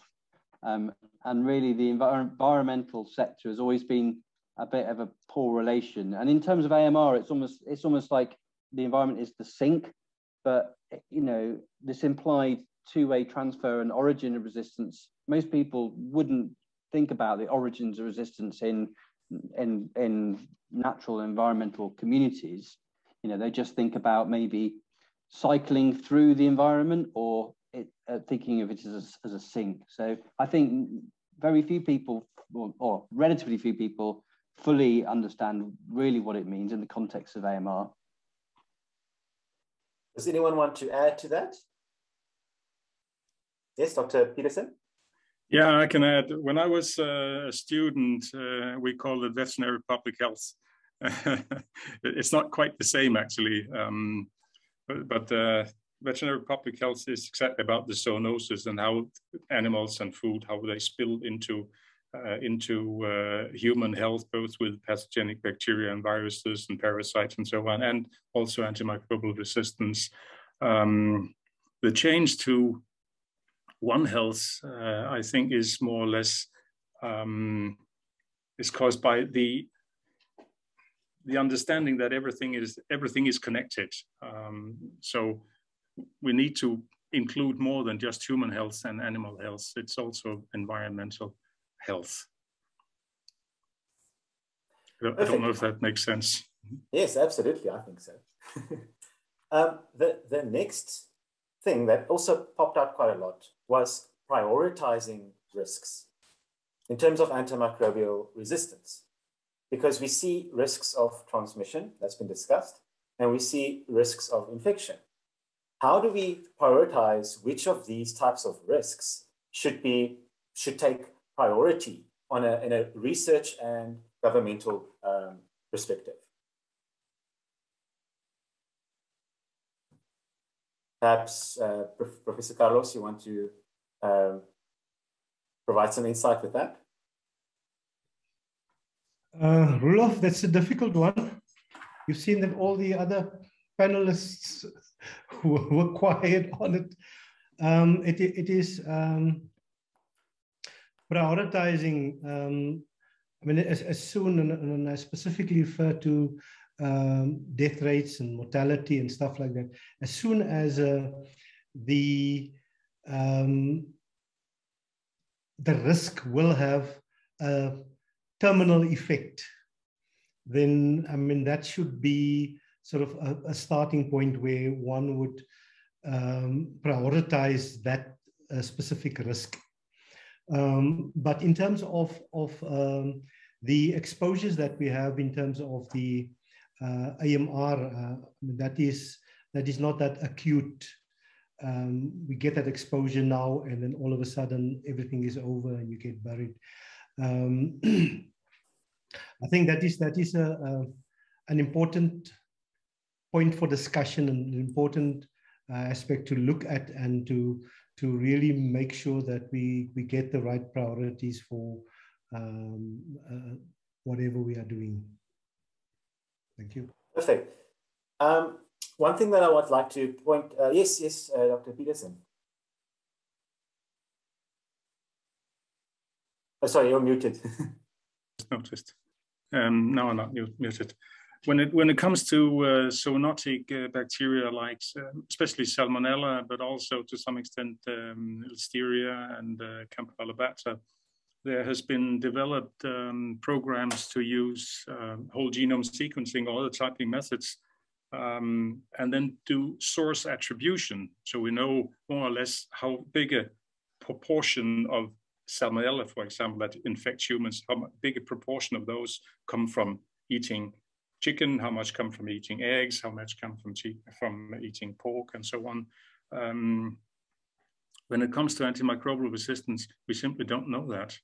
Um, there is not any uh, source attribution system uh, in place. I know there's a research group uh, who are working on this. Um, so I think, and the source attribution systems for zoonotic bacteria, that they are exactly used to prioritize what should we focus on to in, install uh, intervention um, to, yeah, to install proper interventions. And we don't have that for, for antimicrobial resistance. Um, lately we are focusing a lot of ESBL for example. But as uh, the, the paper that uh, William Gaze also mentioned earlier when you look at whole genome sequencing of ESBLs from human clinical samples and from animals they are really not uh, very much linked. So it's we may even though we find ESBLs in both compartments, they they may they may not be um, uh, connected uh, to some uh, large extent, and and that is that is what we would need to know more about. Yes, um, uh, uh, Professor Gaze. Yeah, I, I, think just to really simplify it, if you think about um, AMR in the clinic, you know, and really we focus on stewardship, so reducing usage, and we focus on infection control, which is reducing transmission. So really, I don't think it's any, it's not any more complex than that conceptually, but in practice, of course it is. But we need to reduce usage in other, in other sectors. We need to reduce, um, you know, uh, dissemination of, of antibiotics into the environment. Um, and we also need to reduce transmission, which is you know, infection control in the clinic is the same as hand washing in the community, or it's the same as treating wastewater. It's it's it's really all the same thing. You've just got selection and you've got transmission. Those are the two drivers. Of course, which where you start first, I guess, is maybe you have to have some cost benefit analysis that you implement the cheapest but most effective interventions first to reduce this connectivity between the three One Health compartments and also you know the the presence of the selective agents, which the antibiotics, also in those three compartments. Um, so I guess it has to be done based on what's what is going to have the most effect for the least investment, um, at least it's in the start when you start prioritizing them. Um, I think you know we shouldn't get caught up about necessarily um, trying to work out exactly how you attribute you know usage in pig farming to emergence in the clinic because we know that all antibiotic usage uh, is, is providing a selective pressure, which is driving emergence of genes. So even if those genes are different in animal strains, we don't know where those genes came from in the human pathogens. They may well have come from animals in the past, but just because they're, they're different now and don't overlap much, it doesn't actually tell us about the risk of this emergence of resistance. You just have to reduce selection and reduce transmission. I know it seems like uh, that's oversimplistic, but sometimes we overcomplicate it as well. Yes, I think that's an important point, especially considering uh, now coming to, to what it's about is, is, is the environmental impact. Um, should our antibiotic, our AMR, is AMR in the environment uh, carry a higher risk than in the clinical sector, or is it simply a mirror of what's happening in the clinical sector? I think that's a, a bit more a, touchy subject. I, I, would say it's the other way around. It's you know what, what is happening in the in the clinic is mirroring what happens in the environment because those those genes, these transferable genes, they don't originate in the clinic. They don't originate. Mutations do, but the many of the genes that we're worried about in say gram negatives, they come from environmental bacteria. They evolved way before you know even animals had guts in some cases. So I think it's tempting to think it's mirroring, you know, what happens in the clinic in the environment, but it's not even as simple as that. It's a it's a it's a two way thing, isn't it? So you have genes that, are, that originate in the environment, they move into pathogens, they then further diversify, and then they come back into the environment. So it's very a two-way thing. Hmm. And term, sorry, uh, yeah, and just I was just picking up something else in terms of impacts on the environment. You know, we don't necessarily think that much. You know, when we talk about environmental health, what's the impact of AMR on the environment? You know, arguably AMR gives resilience to microbial communities that are, you know, being um, stressed by pollutants. So it allows them to survive, doesn't it? But we don't really know what the impact of antimicrobial pollution and AMR has on the functioning of microbial ecosystems and carbon cycling and you know all the nutrient cycling and plant growth but that's that's not really why we focus on the environment we're focusing on the environment because of its relationship and its key component um, to um, you know to the clinical problem very few people actually focus on the impacts of amr and antimicrobial pollution on environmental ecosystems because the funding is not there for that type of work it's there for understanding how the environment contributes to the clinical problem. Yes. I think this discussion we can continue in the Q&A. We have one um, question for Professor uh, Sugar. Um, in recent times, there has been much uh, discussions on the ban of open grazing, which until today, the federal government of Nigeria has refused or is unwilling to adopt. Why is there no scientific argument driving the call for the ban of open grazing of cattle, which you mentioned one of the drivers of AMR?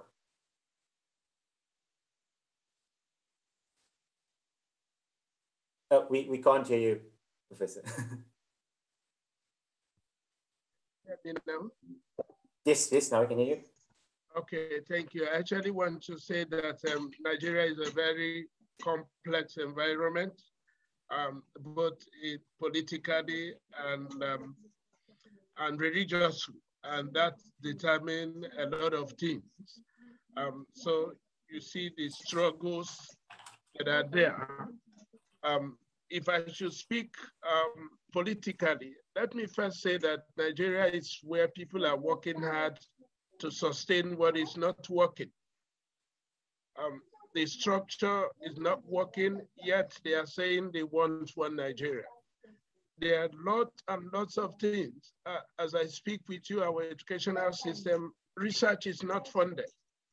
We do meaningful research when we find collaborators outside this place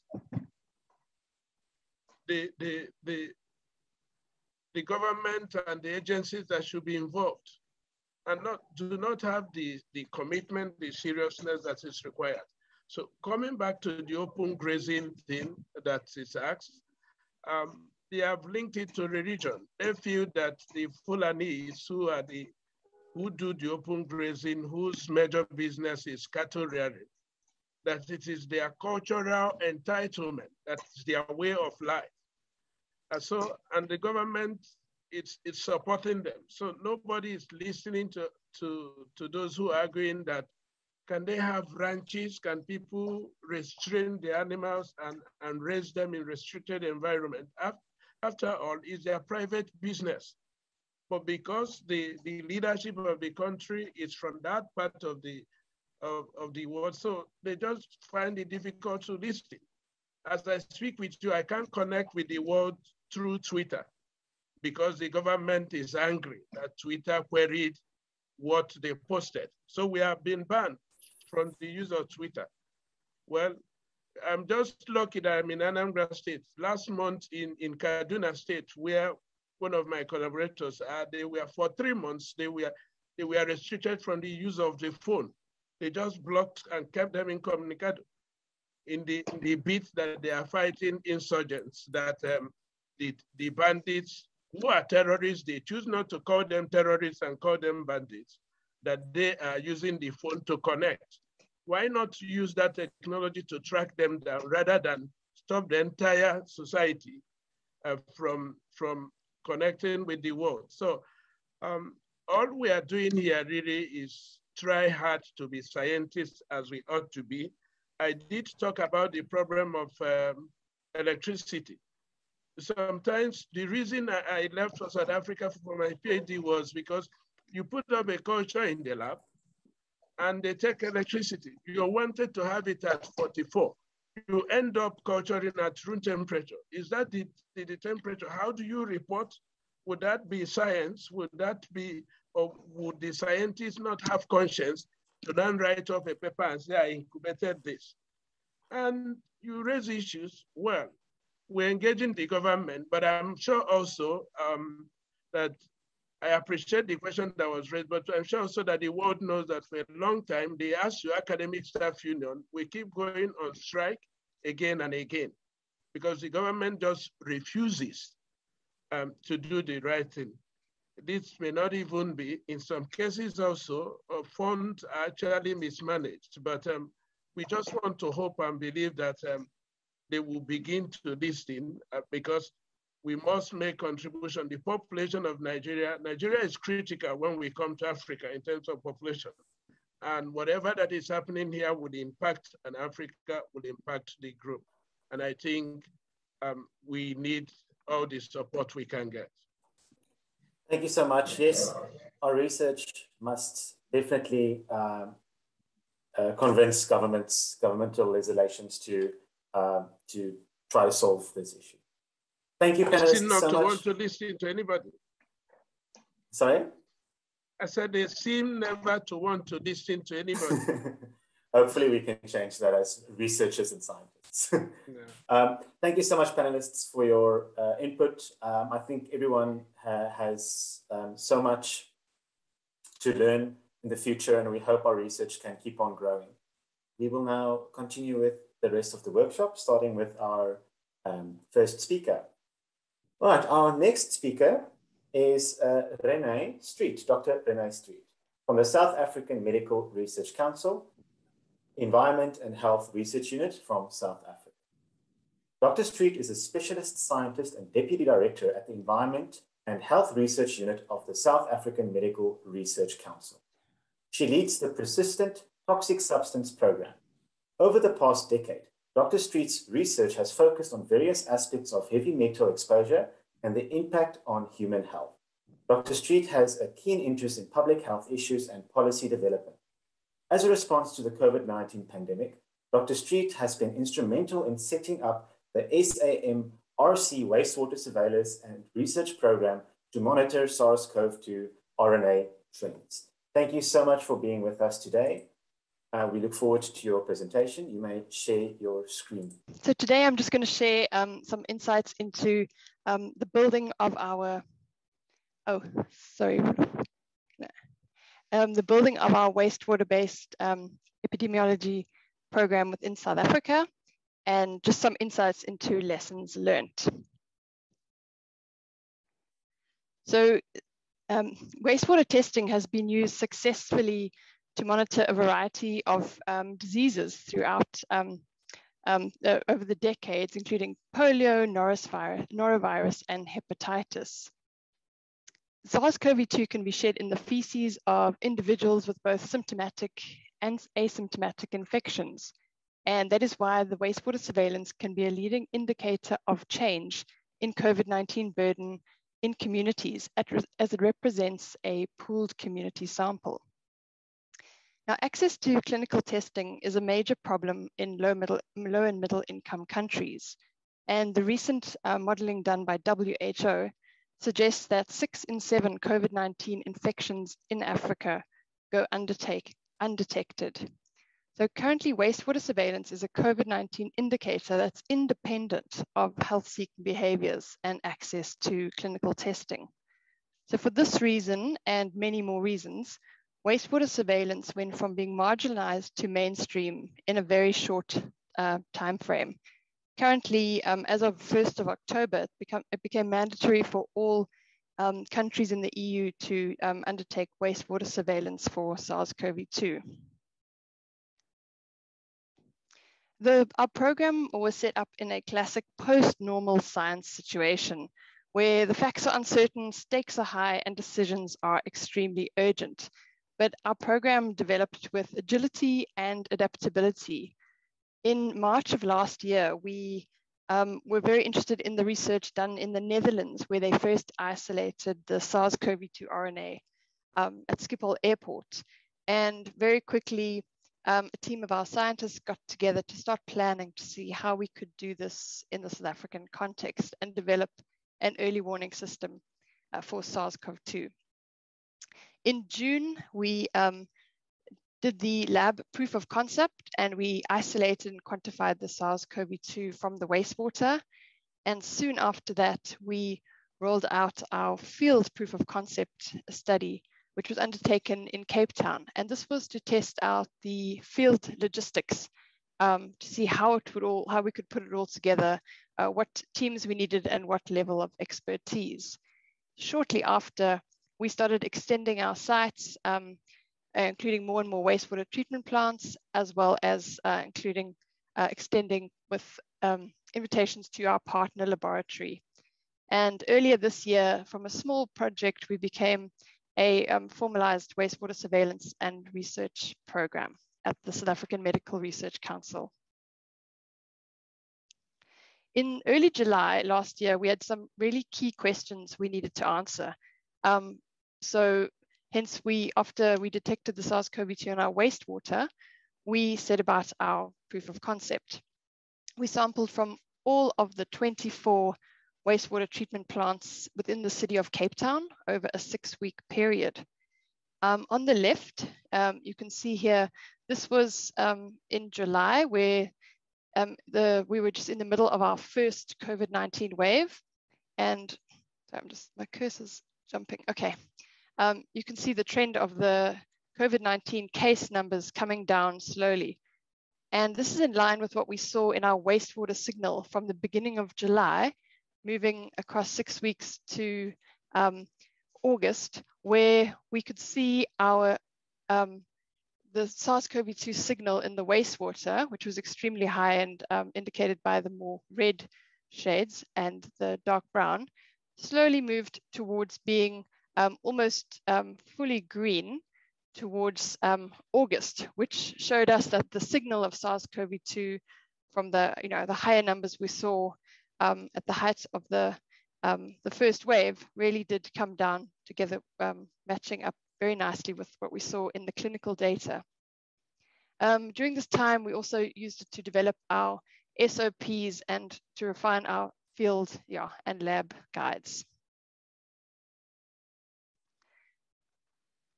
Once we had answers to some of our critical questions, we designed an outline for our program focusing on six elements. Um, so the wastewater surveillance uh, we do is driven by key research questions, including aspects of genomics, areas of concern, um, and yeah, constant uh, questions that um, we keep on having to, um, yeah, we are very keen to continue to explore course, with our wastewater sampling, we've got strategic selection of sites, both in urban areas, peri-urban and uh, rural settings as well. Our laboratory analysis um, is undertaken by our reference laboratory in Cape Town at the MRC. And um, yeah, they are reference lab and they ensure that there's standardization across our program, um, as well as um, they have a keen eye on the, the quality control aspect. Now, capacity development was always a major goal of our program as we started. So we work um, predominantly with historically disadvantaged or under-resourced institutions within South Africa and provide um, skills um, development and training to their staff and students. We, as soon as we um, started uh, gathering more data, we realized that um, you know, we were communicating with our key stakeholders, but we wanted to make sure that this was the information was available to the public. So we set up a public facing dashboard, which is updated weekly to ensure that uh, many people have access uh, to, the, to the data, um, to the information that we are then able to share. And of course, um, research uptake and um, public engagement is also an important element. We are currently sampling in 72 uh, wastewater treatment plants every week uh, across South Africa's four provinces. And as of next year, we will include the Free State and KwaZulu-Natal. So we work with uh, partner universities. We don't courier any samples. Um, we capacitate uh, locally at the universities. And um, as yeah, in the other two states, uh, provinces we're adding, we'll be also including two new partner universities. Currently, our catchment population is just under 8 million and will grow with the addition of the next uh, the provinces. So we have a, a, a program uh, that runs on a weekly rotation. So Monday morning, very early, our, our field teams go out um, and sample across all of our sites. And they deliver the samples um, to our labs by midday so that the lab teams can then take over to do the lab, um, the SARS-CoV-2 extraction, as well as the quantification of the SARS-CoV-2. Um, on Wednesday morning, there's a lab huddle. The teams, all teams get together, interrogate the data, discuss any issues they may have had, and the, the information or the data is then signed off by the reference lab. Um, the data then goes to the stats team who prepares, uh, pre prepares graphs and maps uh, packages information to key stakeholders and updates the MRC dashboard. And this is, we try to do this as soon as we can um, early on midweek. So it allows then the our key um, health uh, stakeholders um, at, to, to undertake interventions if need be at facility and community levels. So to share some of the our findings, um, from early November, we started collecting from all 24 wastewater uh, treatment plants in Cape Town, covering the entire city. And this graph shows um, the timeline, which was the start of our second wave. And it's clear to see that our wastewater signal, um, which is the median of all of the wastewater plants across the city, um, uh, prefaces the, the cases, which is in red. So this is the COVID-19 case data.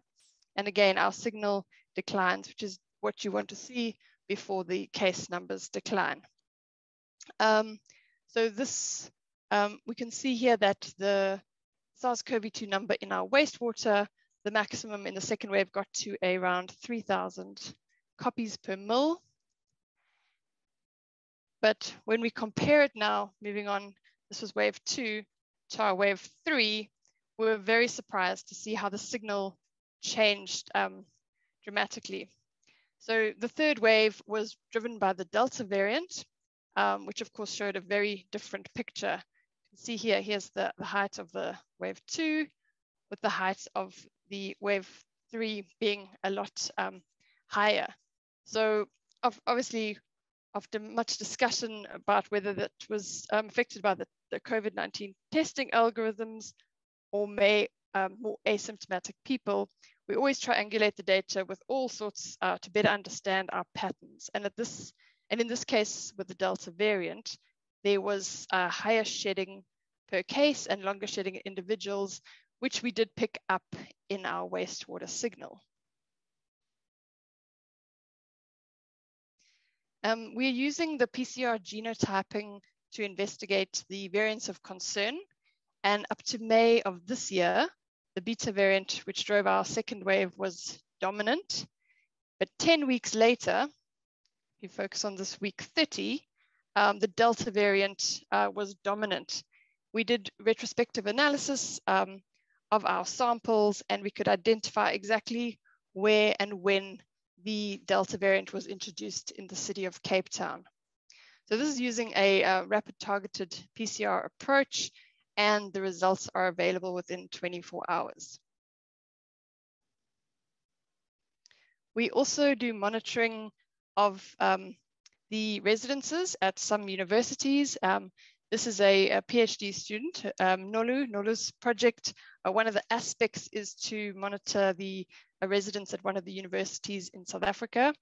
And what was picked up by Nolu's data um, was that there was an increase in the wastewater signal, um, which then, um, after feeding back this information to the, um, to the university, the campus did actually close based on the high um, SARS-CoV-2 signal we were picking up. We're also now tracking wastewater in a couple of our other university campuses as well.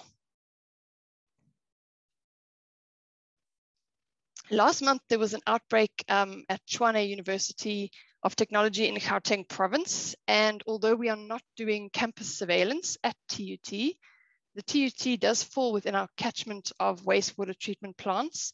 Um, and Daspoort, which you can see here, Daspoort wastewater treatment plant, is less than 1.5 k's away from Tshwane. So we noticed a week before the announcement of the outbreak um, in Tshwane um, that our SARS-CoV-2 signal, um, which had been very low, was now increasing. And we did it, um, we realized that we had uh, caught this outbreak through our wastewater um, because a week later, we did see that steep increase that everybody was talking about. Um, so just to, even though we weren't uh, actively um, doing the surveillance on the, on the campus, we did still um, notice that outbreak um, at TUT. So we had many weeks of fairly low levels of SARS-CoV-2 in the wastewater, um, which was also um, happening. There were many low COVID-19 case numbers, but in mid-November, we saw an increased um, level of volatility in our signal. And when we did a deep dive into the metro data, this is just showing three of the, the metros, we looked at the individual wastewater treatment plants and we could see rising levels of volatility in the SARS-CoV-2 fragments.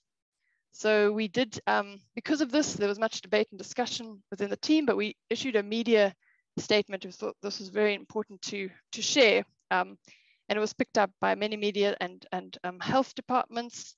And interestingly enough, uh, a week later, um, there was the announcement that they had detected the new variant, which is now known as Omicron. Um, so in line with our increased COVID uh, case numbers, of course, our wastewater signal is also increasing as we enter the fourth wave. We are currently finalizing um, the sequencing of the current samples and later today or early tomorrow morning, we'll issue a press release about um, the um, Omicron in our wastewater. So please watch this space an important aspect um, of our program that I mentioned was um, um, skills transfer and capacity development. Uh, through setting up this program, it's been an excellent opportunity for collaboration and capacity development. The um, BRIP team, so it's the Biomedical Research and Innovation Platform at the MRC, they provide the SARS-CoV-2 uh, training to all of our partner universities, uh, it's a three-day face-to-face uh, hands-on training as well as the weekly support um, thereafter. And they also provide the variant testing, which uh, because it was in the middle of one of the waves, they developed the online um, training for the variant testing, which is now um, being undertaken by our partners as well. So there's so many people involved in this program. This is just a couple from you know the field teams to the lab teams to you know, everything in between. And it really is um, the passion of all of these um, dynamic individuals that everybody's bringing something to this program. And really the passion and drive um, from the, the, bigger team is just um, phenomenal. In terms of lesson learned, so what we've realized is, you know, more time points are needed um, and we probably will need multiple years of data required to infer seasonal trends um, however, each wave is driven by a different variant of concern. So every wave does behave quite differently. Um, in terms of our case data, often uh, it's not matched up by the wastewater treatment plant catchment data. So this also um, brought about really interesting conversations between sectors that didn't necessarily work closely before and how to overcome these interesting um, challenges. Of course, the case data, which uh, you know people find as the gold standard that you know the case data should be matched to then the wastewater signal. Well, the case data only reflects diagnosed cases. Um, during waves, um, testing algorithms change. Um, we had unrest here in July in certain parts of our country, which affected testing. So the testing is, of course, affected um, by many, many dynamics. In terms of the way forward, um, we do plan to expand our network, um, both in terms of the sites um, that we will be um, yeah, expanding, but also some interesting um, developments for our AMR surveillance, uh, pharmaceuticals and pathogens. So our platform is built on agility and adaptability and set up to expand um, in various um, forms. And in the near future, we're hoping to only monitor the uh, absence of SARS-CoV-2, but um, our network and platform is now set up to do many different exciting things. Uh, currently, most of our partner labs have expertise in AMR research. And as of next year, we will be increasing our support uh, to expand our platform to support this area of research. So just my concluding slide with thanks and appreciation to a very big team that is involved in this uh, research program and making it work. And of course, our um, funders and um, various partners. Thanks very much. Next speaker for the session is Dr. Claudia uh, Stanger from TZW, uh, DVGW Technology Center, Wasser, Germany Water Center, Department Water, Microbiology. Uh, Dr. Stanger graduated with Diploma in Engineering at the University of Applied Sciences, Mannheim, Germany in 2005. Since that time, she was part of water microbiology at the TZW DVGW Technology Center, Wasser, the Germany Water Center as project scientist. Research topics include significance of antibiotic resistance for raw water quality, elimination of antibiotic resistance during water treatment, use of molecular biological methods to detect pathogenic bacteria and viruses in water, microbial source tracking, and SARS-CoV-2 wastewater surveillance. Very, very interesting. Thank you so much for being with us today. Um, you may share your screen and start your presentation. Hello, everyone. I hope you can hear me and you can see my slides. Yes, it's perfect. Thank you so much. Great. Thank you for the kind introduction. Um, as you already mentioned, I want to talk about wastewater surveillance. Um, and we did look for SARS-CoV-2. And first of all, I want to say this was not only my work, but uh, also my colleagues, Rabea Sobak, Johannes Ho, and Andreas Team were involved in this study. Okay.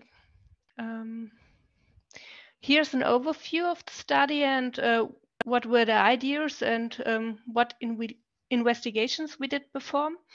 Um, already at the beginning of the pandemic, it was found that SARS-CoV-2 is excreted in the stool of infected persons. So that's the most important point. So you can find it in wastewater. Um, and then we decided we want to look for that after the first publications from the Netherlands that already were mentioned.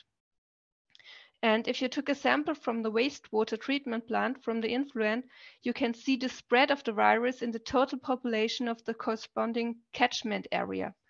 Um, and on the other side, if you have the population and you have to do individual testing, you need a lot of tests that you get this, um, any information about the spread of the virus in the population.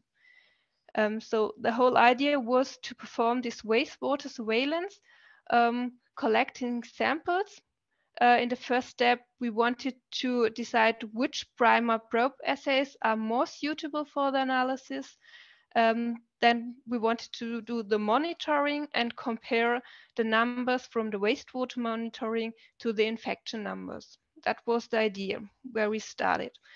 So how was um, it, sorry, um, yeah, how does it look in the lab? Um, so we sample 24-hour mixed samples, so composite samples from the wastewater treatment plant influent. Um, then first we get rid of the solid uh, particles in the wastewater because they um, make some trouble. Uh, so therefore a first centrifugation step is performed. Uh, we take the supernatant and make a PIG sodium chloride precipitation Therefore, we add the substances, incubate them for two hours, and we do a second centrifugation step um, just to get a, bacteria, a viral pellet. And this viral pellet is used for automatic RNA and DNA extraction using magnetic beads. Um, the nucleic acids are eluted in 100 microliters, and that's the material we use for ddPCR analysis. So um, as you know, SARS-CoV-2 is an RNA, RNA virus, so we had to transcript the RNA to DNA. So we performed a one-step um, PCR uh, and we used digital droplet PCR. You might perhaps ask why ddPCR. So that's easy to answer. uh, because this uh, method had some advantages compared to the quantitative real-time PCR. So we don't, it's absolute quantification. We don't need um, standard controls with known concentration to get uh, a quantitative result. That's one point. The second point is that uh, it's really sensitive and accurate also in the low range concentration. And the third point, it's um, you don't have that many trouble with inhibitory effects compared to real-time PCR.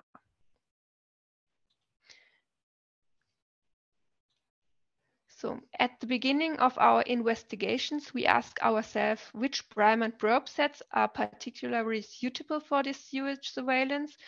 Um, there were a large number of um, sequences published, um, mainly for clinical diagnostics, but in principle, they can also be used for wastewater monitoring. Uh, and in the first studies for wastewater monitoring, the N1 and E assay were often used. So we decided to use these two assays for sure. Um, so um, that were the one on the left side. And on the other side, um, hand, we decided to go for two further assays. We wanted to uh, check if they are also suitable. That's where we started. We took different samples, uh, analyzed them with these four different assays, um, and then we compared the results. And um, in the upper graphs, you can see uh, the correlation of E over F, E RDRP, and over F RDRP are quite good. So we had a really quite uh, good correlation with high um, with 0.96 or even 0.85. So that's really fine.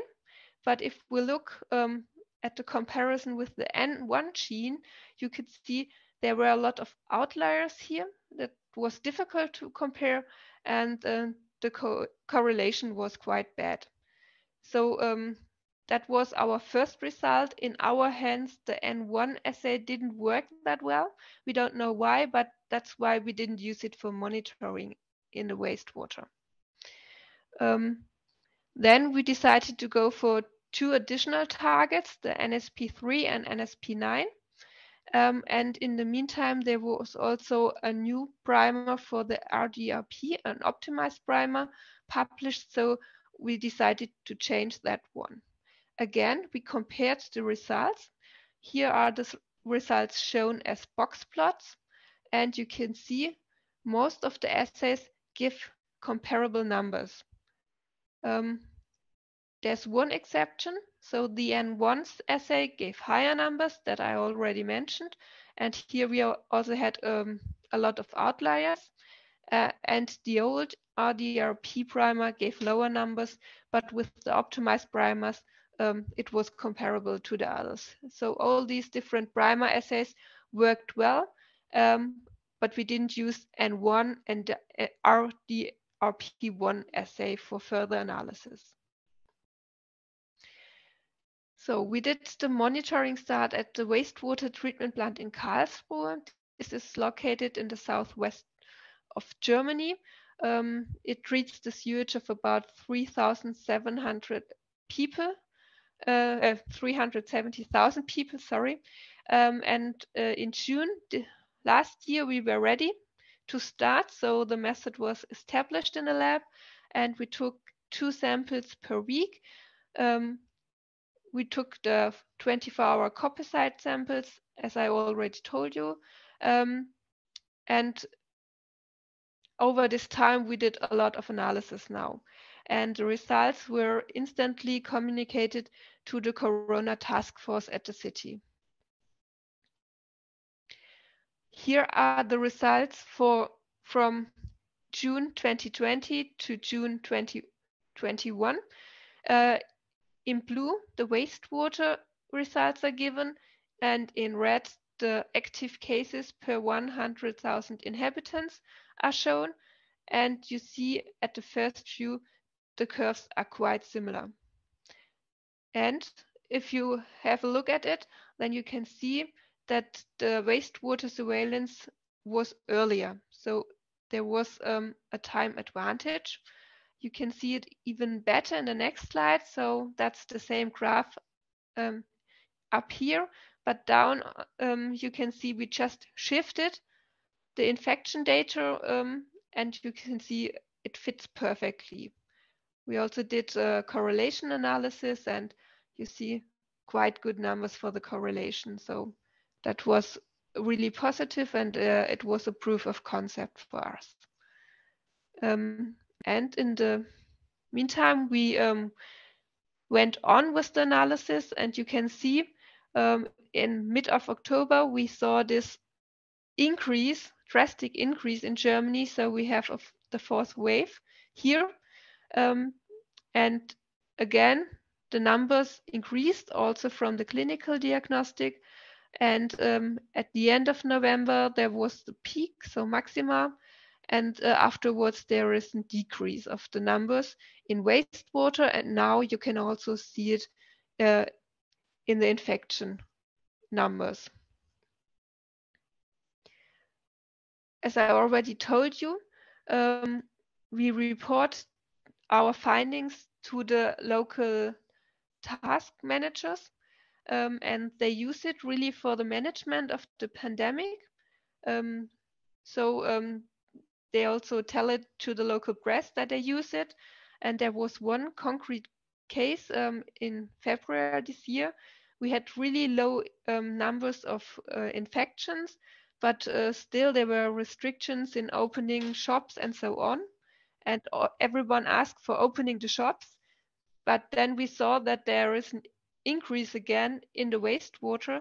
And the mayor said, no, we can't open the shops because um, there will be an increase soon. And some days afterwards, they could see, okay, the number increased again. It was a good decision not to open the shops that early. Um, a short summary. Um, so as before, you could see um, the SARS-CoV-2 biomarker monitoring correlates really good with the local infection numbers and it has um, a time advantage. So um, we have about 10 days before we see the trends. Um, so it's really suitable as early warning system.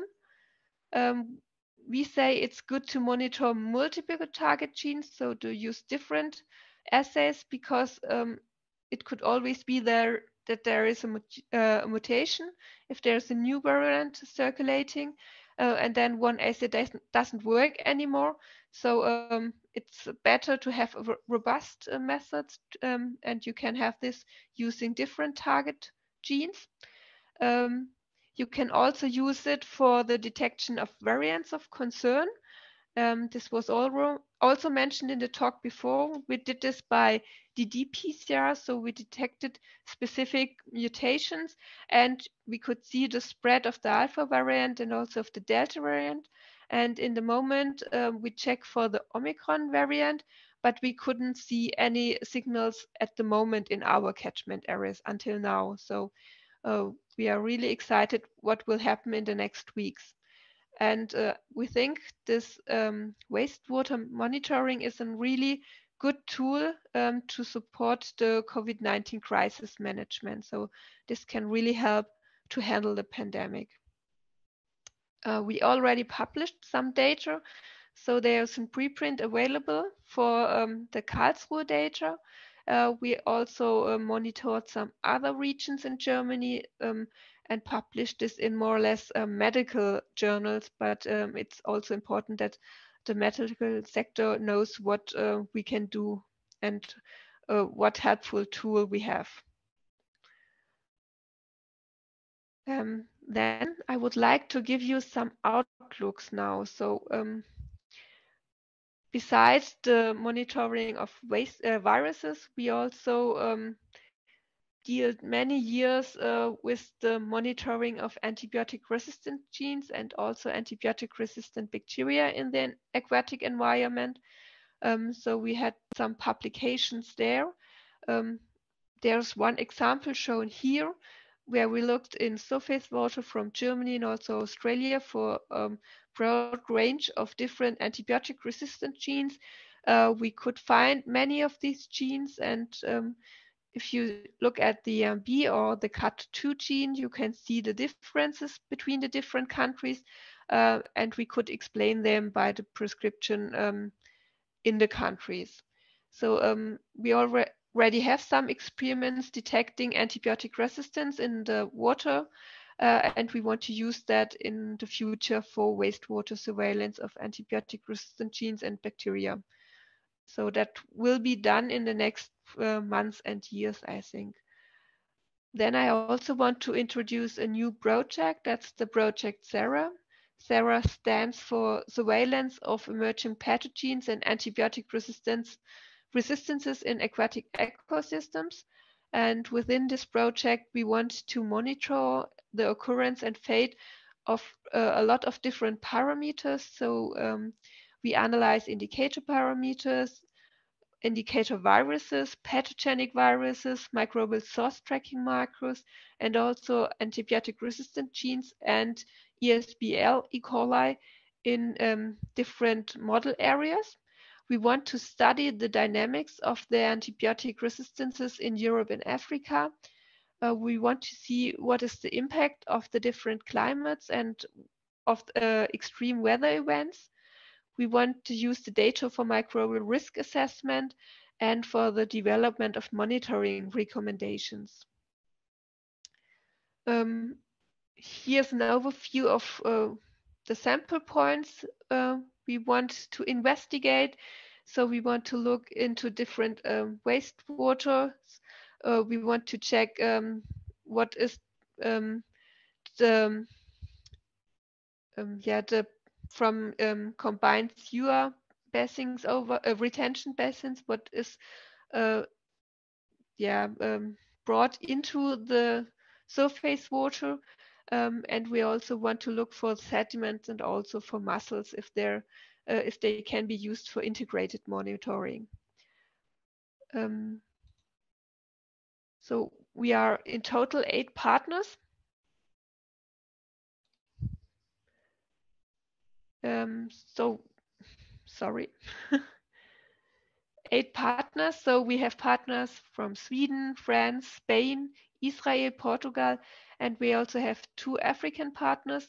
Um, every partner um, will look at his own model site and we will use harmonized methods and that is what we're doing right now. We try to harmonize the methods um, and set up the protocols for the monitoring and we are really looking forward to, to start with the um, sampling and the monitoring and get the first results. So we are really looking forward. I want to thank uh, the founders for um, yeah, making the studies possible I want to thank you for the possibility to show our study here. Um, and I want to thank all here for the kind attention. Thank you. Thank you so much, Doctor. I think that talk uh, flowed beautifully from the previous um, talk that we had. Um, now uh, we are a little bit ahead of schedule. Um, we will now move into a tea break up until three o'clock exactly. Um, and please, I would like just like to remind all the panelists um, to take part in the conversation in the, in the Q&A section. Um, ask any question, the panelists can ask them directly from there as well. Um, and since we have a minute and a half until the end of, of um, uh, Dr. Stanger's um, uh, presentation, I've actually one uh, personal curiosity question to ask. but the, using the digital PCR, um, how, how efficient will that be once you're having high, for high throughput analysis, when you're having thousands of samples a day compared to the more conventional qPCR methodology? So um, that might be a problem because, yeah, it's a bit more time consuming. Uh, but there are other um, options uh, if you don't use uh, the droplet digital PCR. Uh, but there are other platforms like um, the chip systems that um, are less uh, time intensive. So this work also for high throughput PCR, I think. So that might be another option. That's very interesting. We actually published an article in 2020 comparing these methods for environmental analysis of antibiotic resistance genes. And um, it, it's, it's interesting to see how this can be further developed to um, surveillance systems. Um, we found that the uh, even though both methods work function perfectly, we just found that the uh, QPC, conventional qPCR is more realistic in a high throughput environment. But then again, it depends on your infrastructure. So it, it is, it's interesting to talk about. Yeah, that's true. Both methods are really useful, but I think if you want to measure in a really low concentration range, yeah, then absolutely. the digital PCR might be of advantage. So and especially since you also mentioned that it's less prone to effects from inhibition, which wastewater samples definitely do provide. So absolutely advan advantageous in that regard. Yeah, and as we started uh, with the analysis, we had really low numbers um, of infection cases. So um, the number of um, RNR was really low in the wastewater. So that's why we decided to go for ddPCR. That was the reason. Excellent point. Perfect rationale. I think so, definitely. Right. All right. Welcome back to the next part of the webinar. Thank you so much for staying with us. We really appreciate your uh, contribution and time and effort you're taking into being here. Um, I'm now going to introduce our next panelist uh, for the final uh, part of this webinar, uh, Dr. Kyla Burns from the Broad Institute and Harvard School of Public Health in the UK. Kyla Burns is a NIH fellow at the Harvard School of Public Health and the Malawi Liverpool Wellcome Trust. Kyla uses genomics to understand viral pathogen dynamics and the host pathogen interaction. She will be giving us a, um, a view from the Malawi perspective and the African perspective. Thank you so much for being with us today and you may start your presentation. Um, yeah, so I'm going to um, discuss what we've been doing in Malawi, and it, and it very much mirrors what Renee and Claudia are doing as well, and, and really actually kind of falls um, in line with what groups in South Africa, including Renee's group, are trying to do. But before I get into our work on SARS-CoV-2, I want to just give a little bit of background about other projects that were going on in Malawi that are not my projects nor my area of expertise, um, but just to kind of give a picture of kind of how we came to the work we've been doing. Excuse me. So as Renee and Claudia discussed, there were groups in the US and Europe that very early used wastewater to detect SARS-CoV-2. So we knew it was possible. In Malawi, um, a professor named Nick Feasey from the Liverpool School of Tropical Medicine already had a large TIPHI program. And this came out of work by Julian Gold, who is a mathematical modeler. And what they did is individuals would come into the clinic with TIPHI. They would then follow up those individuals to their home and they would try to see if they could identify TIPHI in environmental samples. And so this kind of led to a larger program called DRUM, which is both in Malawi and Uganda, using environmental surveillance to largely try to understand bact key bacteria of interest. And in addition to the TIPHI work, there's been a Wellcome Trust Fellow who's really led trying to understand how we can use this kind of One Health model to identify ESLB L bacteria at many different levels. So the work that I'm doing is focusing on SARS-CoV-2 and virus and really just specifically on water, wastewater, but we do have lots of different samples. So because this TIPHI work was already occurring in 2020, we were able to quickly start sampling matched samples for SARS-CoV-2. And again, we knew we could do this because of what groups had already shown in the US and Europe. With support from PATH, we were able to scale up to 80 sites in 2021. And so we're sampling 80 sites in just Blantyre district. Um, so this is a fairly kind of micro study in Malawi. We also are doing matched work on Salmonella and typhi for all of these um, collection points. So kind of our decision tree, our methods, we sample at these sites, we take grab samples, large water samples, soil, rocks, we do a PEG concentration for viral detection. And then we also culture samples, so rocks, um, uh, filter, more swab, etc., for bacterial detection. we do an RNA or DNA extraction, and then we can do single or multiplex diagnostics. For SARS-CoV-2, we are specifically using the CDC N1 assay because that's what we had available in Malawi when we started this. And it's also consistent to what we're doing with patient samples in the lab. We then can go on to do MinION sequencing. Um, and I'll kind of get deeper into the sequencing in future slides. So this is a picture of a river. So kind of what we're dealing with in Malawi is this really informal sewage system where although we're sampling in rivers, we see a lot of fecal contamination and we can kind of map a population that might be, you know, contributing to this fecal contamination. A few tech dev things we did. So early on, the bacterial team was filtering water through a 0.45 micron filter to grab bacteria, and we were just taking the effluent. We tried, we wanted to compare that to just grab samples, which are just way easier. So these are just 50 ml grab samples. And we found that there wasn't really any difference. So we stopped doing the filtering step because it was quite labor intensive and quite expensive. The next thing we did was, oops, sorry, is we wanted to see if kind of the two widely like, like used concentration methods would work for us. So that's PEG, which is a glycolysis based concentration method, and then milk flocculation. And we didn't really see big difference between those two concentration methods. And so we went with PEG because it was just a little bit more user friendly and um, we were able to get the PEG in quickly.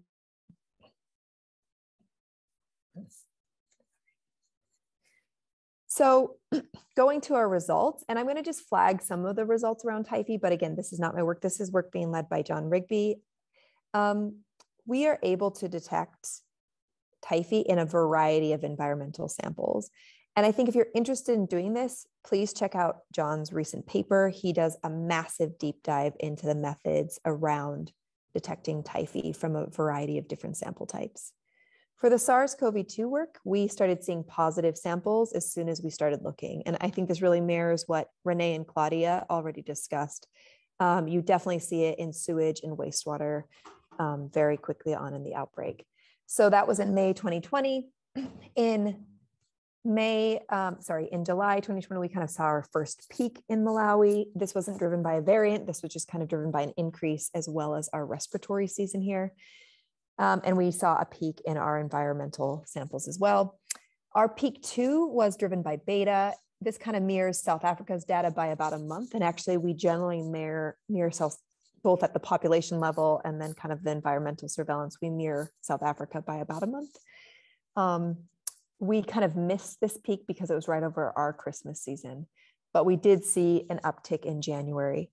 And then more recently, when Delta came into Malawi, we saw a huge increase in positivity in our environmental samples.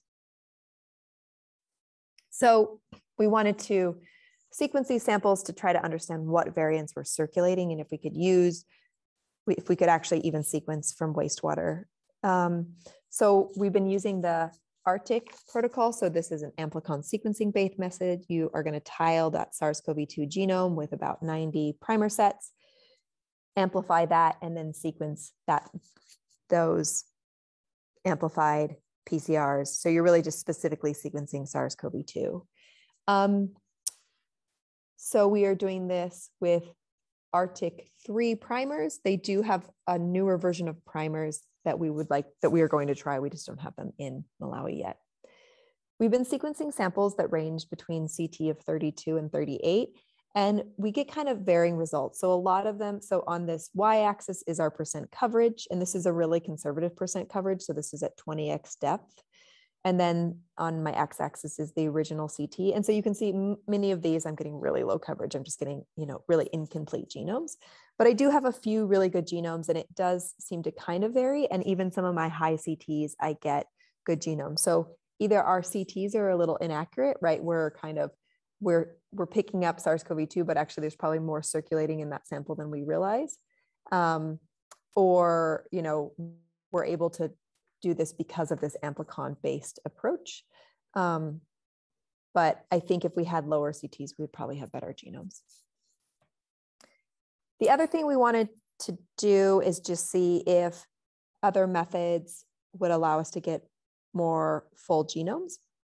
And so Steve Patterson's group at the University of Liverpool recently developed a method called EasySeq, which is specific for wastewater, and it's what they're using in the UK.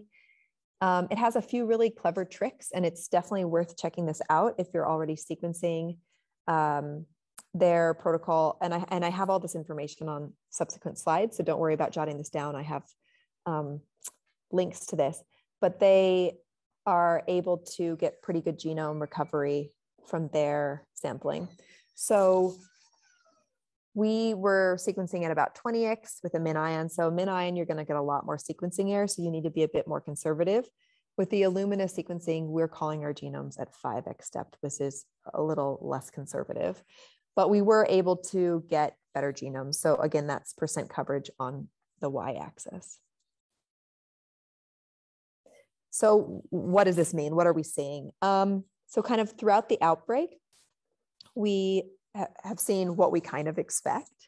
So we're seeing um, early on in the outbreak, um, sorry, early on in the outbreak, we are seeing kind of variants that are coming from Europe and Asia, just like everybody's seeing globally. And then in January and February and March, we're mainly picking up beta, which is what we're seeing in the patient population. And then in, Del in May, June, July, and August, we're picking up Delta.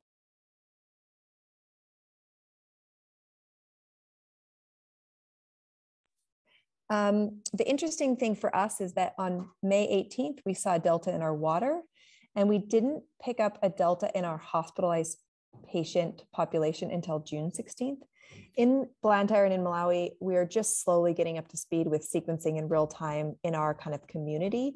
So I think this next wave, we will have a better picture, but I still think this gives us, you know, potentially an early warning system by about a month when we expect to see a hospitalized patient. And this is kind of similar to the trends other groups are seeing where ES is a little predictive or is potentially predictive um, of what you're going to see in the population. Um, the other thing we wanted to look at, and the big question that we get asked a lot is how do you know what variant you're looking at? You have this sample with many, many individuals contributing to it, right? Especially in Malawi, where we might have 100,000 to half a million people contributing to this area we're collecting. And so a group from Scripps has recently developed a pipeline to try to disentangle this. Um, so it's called Freeha. It's open source. It's already on GitHub. So if anybody wants to try it, I recommend it. What you're going to use is your BAM files. So those are your reads. Um, and it's going to be able to tell you what percentage your different variants are. So kind of two examples. This first one, this first line was about 66% beta and then 33% other. They can't always get to the exact other. Um, and then kind of these samples from May, June, and July are largely delta, and it's showing us delta with pretty high confidence. So this is a brand new, like a week old. It's still in beta. So if you do use it and you um, find it helpful, or if there's things that you think could be improved, I'm happy to get you in contact with Josh Levy. Um, and you know, I think there's some room for improvement, but I think this is an exciting way we can start to disentangle these mixed samples. So the final thing we've been doing is trying to model, does ES data predict data at the kind of population at the district level? And so we're doing this um, with in collaboration with the Gates Foundation. They actually have a modeling core group. And so Jillian Gauld, who did some of the original TIFI work in Malawi, is leading this effort. And what she's finding is our ES data does predict DHO data about 21 days before a peak occurs, before the kind of top of the peak occurs. And this is with pretty high significance. So we saw this in the first peak back in 2020, and we've now been able to replicate it in the Delta peak. So we feel this is fairly, um, we're, we're, we're confident that we are seeing peaks in ES before we're seeing peaks in DHO data and that we can use this to predict. Now, what we need to decide or what we really need to disentangle is at what level of percent positivity do you say, okay, we think a surge is occurring and you start to, you know, discuss this with your public health departments. And I think South Africa has already done a good job of working very tightly with their clinical and public health offices. And so we just need to kind of pick up on that here in Malawi. The other thing we're doing is we're going to try some of these variant RT-qPCR. So many of my samples have such a high CT, or even if they don't have a high CT, they just, I can't sequence them. I can't get a variant out of them um, or a good genome to call a variant. So we are going to try some of these RT-qPCRs. There's one from Promega. There's a few other companies that have developed one. And then Eric Alm's lab has a preprint that has um, some on it as well. We're going to do some more Illumina sequencing. We also have matched bacteria data for all of these samples, as well as like fecal contamination and other environmental parameters. So we're just trying to get our heads around that. And then we also are going to multi do a multiplex to look for other viruses that are of interest in Malawi. So with that, um, I think there's some really key people to thank. Kat Anscombe has helped me with all the sequencing. John Rigby um, has really been instrumental in all these sites and has, has done all the TIFI work. Oscar Kanjerwa is leading the SARS-CoV-2, um, yeah, the SARS-CoV-2 diagnostics. And then we work really closely with our district health office. And then just to quickly just put a few slides and people can screenshot this or, or email me, but um, ARTIC has really nice protocols. So if you are thinking of sequencing, I really recommend checking out their protocols. They're all online. These are all the reagents we're using here. This is the EasySeq protocol for Illumina. Um, if you try this and you have any problems, you can also email me. And Steve Patterson said he's definitely happy to speak to people. But it's it's again an open source protocol, and it's been um, it's been really easy to use.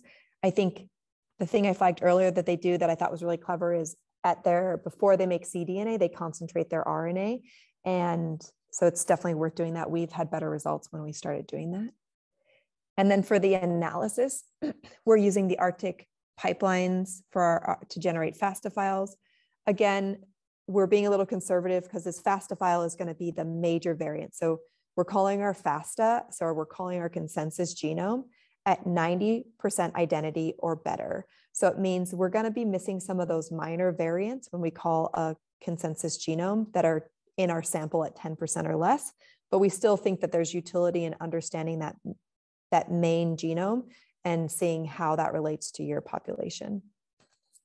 Um, there's some really good, once you have a FASTA file, it's easy to call the variant either on GISAID, Nextstrain, Pangolin, and then this is just the GitHub for the variant specific calling pipeline from Josh Levy at Scripps. So with that, um, thank you so much. Thank you so much, Dr. Barnes. That was very interesting. We're now moving on to the to the final speaker of today's workshop. And I would just like to personally uh, apologize to all the panelists if I have mispronounced your names. Um, but in this case, I'm pretty sure that I will, so I apologize very much. Um, I hope this is correct. Uh, Professor Dean Mansour, I hope that's correct. Um, she's our next speaker. Um, she's from the Department of Microbiology, Faculty of Medicine, uh, IBN Al Jazar, University of Sousse, uh, Tunisia. Her research interests span the general area of antimicrobial resistance with an emphasis on a One Health perspective analysis. In her working group, they work towards guidelines and methods protocols for surveillance of AMR in a One Health context.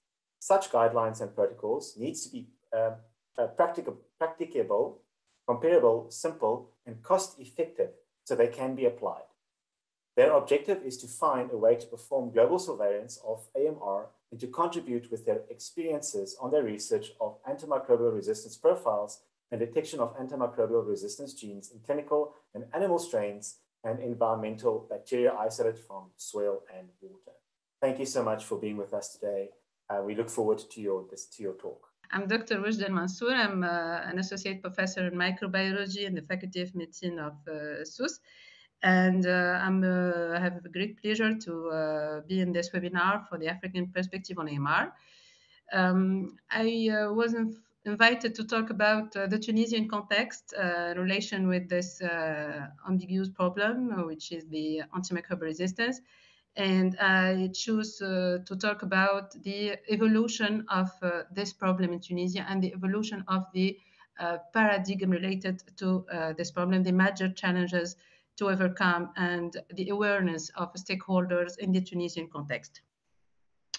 So um, uh, it's uh, clear that uh, it's a universal problem that the uh, WHO uh, talk about a great number of deaths by 2050 and it's alarming. And regarding this slide, uh, we are consensus that the African continent is really in a great problem, we'd say, in uh, 2050 with a number of deaths related to AMR uh, reaching the uh, 10 per 10,000 inhabitants. So it's clear that this problem is not also related just to humans and the one health context uh, take both from this uh, idea. So uh, we have the human, we have the wildlife, we have the the food, the the animals, the environment, and we have also an, an intermediate vector, which is the water, the environment, uh, which causes enormously uh, problem water, drinking water, uh, effluents, uh, all hydric uh, environment are in relation with this problem where the bacteria can, uh, can meet each other when bacteria can transmit inf information via plasmid or other mobile genetic elements. So uh, this is a great uh, problem. What happened? What happened? It's it's a universal problem. It's not uh, only reserved uh, to uh, Tunisia, but um, in Tunisia, the, the the awareness we have a great problem of awareness. Um, if we take a look in the PubMed and we just type uh, uh, the keyword antimicrobial resistant Tunisia, and we see here the evolution of the number of publications, uh, which is in accordance uh, with uh, what's happened in the world. So antimicrobial resistance is an evolutionary uh, problem, but the characteristic that we have here in Tunisia is that, unfortunately, I would say, um, a great consumer of antibiotics. so we, we are classified as the second country not so far from Turkey, the first one, uh, consuming uh, antibiotics just uh, before Spain. And I think that as a researcher, of course, that this conception of a huge amount of antibiotics is at the origin of the uh, epidemiological uh, states that we have here in Tunisia related to antimicrobial resistance. So um, we have a lot of, uh, of description, uh, essentially related to the resistance in gram-negative bacilli, uh, Enterobacteriaceae, uh, Pseudomonas aeruginosa, Acinetobacter baumannii, etc. And we have different profile of resistance. Uh, we have the description of cephalosporinases, the ESBL, extended spectrum beta-lactamase, also carbapinamases, resistance to colistin.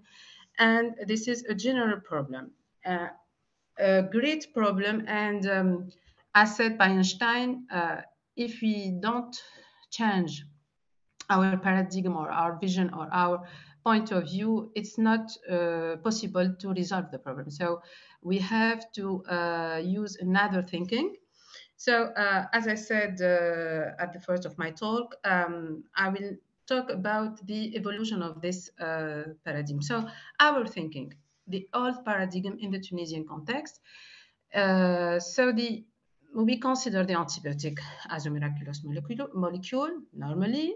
Um, we have a, lack, a lack of stakeholder awareness, um, lack or absence of effective monitoring system, um, the sensitization of the general population on the issue on, of uh, antimicrobial resistance is not so far a priority.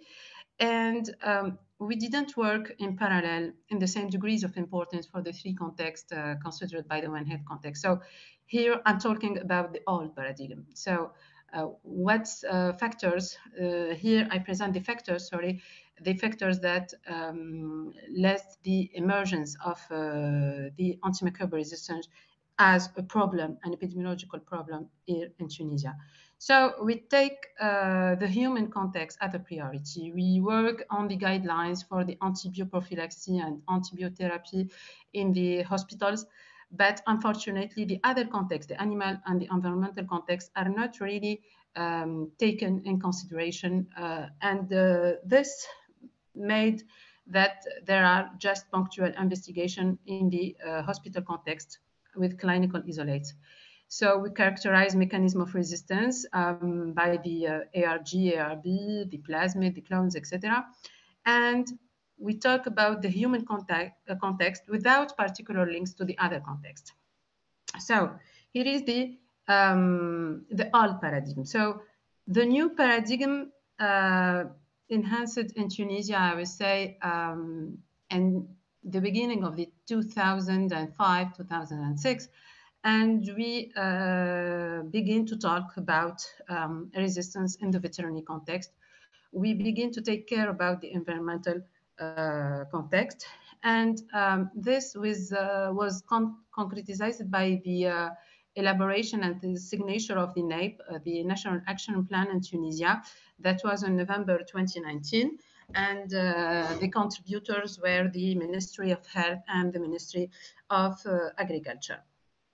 So uh, after uh, the uh, 2005 and 6, as I said, there's a, um, a larger amount, we'll say, a large amount of awareness of the importance of the other context. Uh, we begin to work together to plan strategies, etc., in the One Health context, taking in consideration all the contexts. And we begin to think about uh, getting funding for the uh, epidemiological monitoring, but also to implement all strategic and operational plans uh, predicted in the National Action Plan. So there's a lot of meeting uh, between the Ministry of Health and the Ministry of Agriculture, also with the FAO and the WHO. And um, the strategic plan, operational plan are ready, and we are looking for funding to uh, really uh, enhance this procedure.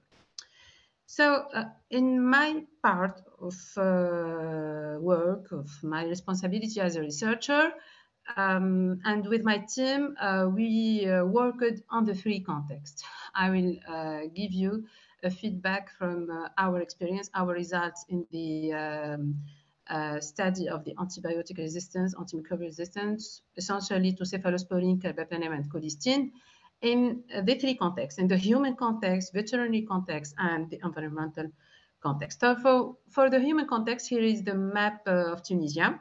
Uh, we are located in Sousse, just in the uh, Mediterranean Sea, and we have worked on three uh, major university hospitals in this uh, location in the uh, center east of Tunisia.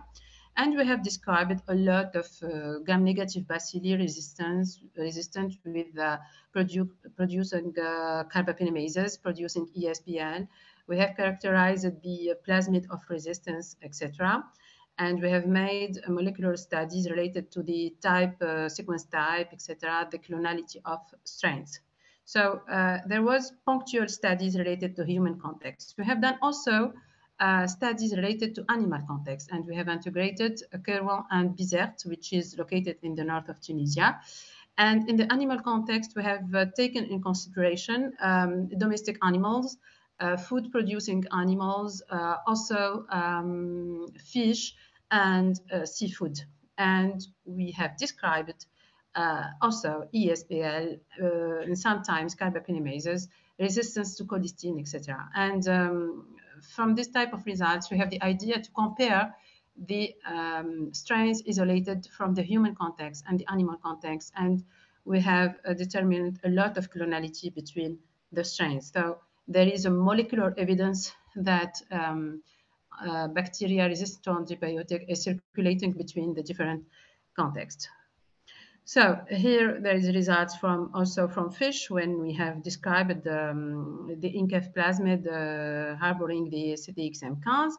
So for the environmental context, we have the idea to retrace um, the um, passage of the, the water from the hospital to uh, the Mediterranean Sea. So as you see here, we have the um, great university hospital, a very uh, big university hospital in the region of Sousse, which named it Sahlul. And here in this uh, star, red star, we have the um, weight, uh, wastewater treatment plant.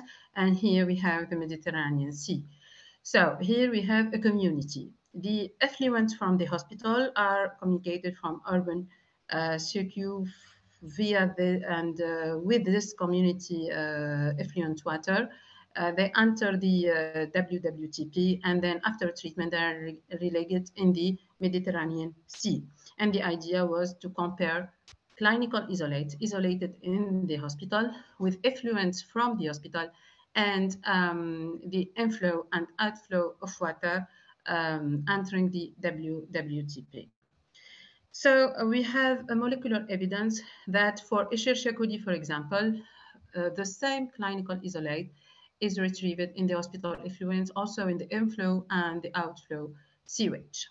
We have done also uh, this work for Klebsiella pneumoniae, and we have retrieved the same result. So we have the evidence. We have the evidence that um, uh, antimicrobial resistant bacteria and multi-drug resistant bacteria are circulating between the different compartments um, not only human food producing, as I said, also domestic animals, seafood, etc. And uh, the um, uh, the problem is more larger than uh, we think. So the change of the paradigm, as I said uh, uh, in the first of my talk, is a necessity to really uh, enhance the to combat this problem of antimicrobial resistance. So what we have is just the uh, part that appears from the iceberg. And we are consensus that uh, the problem is more uh, deep than, uh, than it's appear. And for that, um, we have reached for uh, several collaborations to get funding to, uh, to do research on this sanitary problem, this health problem.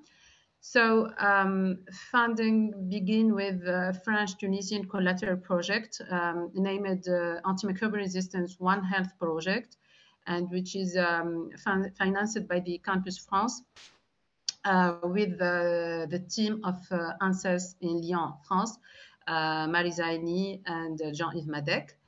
And then uh, we have initiated uh, several networking uh, with my team. we are in the network, we were in the network WAVES, which finished in June 2020, Wildlife, Agriculture, Soils, Water, Environment, and Antimicrobial Resistance. It was a network of 27 partners from, uh, from 16 countries. Then we, uh, we are also a part of a network of a cast Action, uh, named European Network for Optimization of Veterinary Antimicrobial Treatment, INOVAT. And um, after that, we join uh, a team researcher um, in the research project Pairwise, uh, which I suppose that uh, Karl Pedersen have talked about, dispersal on antibiotic resistance and antibiotics in water ecosystem and influence on livestock and aquatic wildlife. And where we have 10 study areas in five countries and where we are sampling not only uh, reaching the uh, the antibacterial resistant, the antimicrobial resistant bacteria, but also the presence of um, antibiotic molecules, which will be considered as um, an element that will cause um, pressure on antibiotic to uh, provide mechanism of resistance. And we have to analyze antibiotic, antibiotic resistant bacteria and antibiotic resistant genes. And this project take place in September 2021 uh, until um, uh, August 2024. Also, uh, we have another research project named Envire, which uh, just has been accepted in November 2021 and which began in April 2022. And uh, it's in relation, just uh, pairwise was the project where we have to describe uh, the epidemiological situation of resistance, especially in wild birds and in water. Here, uh, this uh, ERANET GPA AMR action uh, is a kind of solution to intervene to intervention, sorry, to control the dynamics of antimicrobial resistance from chicken through the environment. And um, it will begin in April 2022 uh, until March 2025. And Tunisia will uh, receive the funds from the International Center for Antimicrobial Resistant Solutions in Denmark. So um, in the different uh, network or in the different research project, the advantage is uh, that as a research team, we involved a great number of stakeholders. We have a, a number of uh, letters of intent. Um, and here there is a consistency that um, the antimicrobial resistance bacteria is really threat to treat in Tunisia. So um, awareness of stakeholders take place in Ministry of Health, in Ministry of Agriculture, Water Resources and Fisheries, and especially in the Center for Agriculture Development, in the directions of uh, veterinary services, and in the National Sanitation Office, which is concerned by the uh, wastewater treatment plant. So um, I will finish by uh, thank uh, thank you for this invitation first of all, and then to thank uh, all my uh, colleagues, all my students, and all my collaborators in, uh, in Europe and uh, otherwise. Thank you very much. Thank you so much. I will go to the questions that were asked in the um, question section, because I see someone, uh, lots of people gave some uh, very good insights. Um, and now, of course, that I need to find them, they have disappeared from my screen. Uh, there we go, I found the first question that was given uh, that we can discuss in this panel is that um, COVID is relatively frequently measured. Um, in terms of antimicrobial resistance, how would how frequently would be necessary to, to um, survey that in the environment or from wastewaters? If someone wants to chime in to to that one with their perspectives.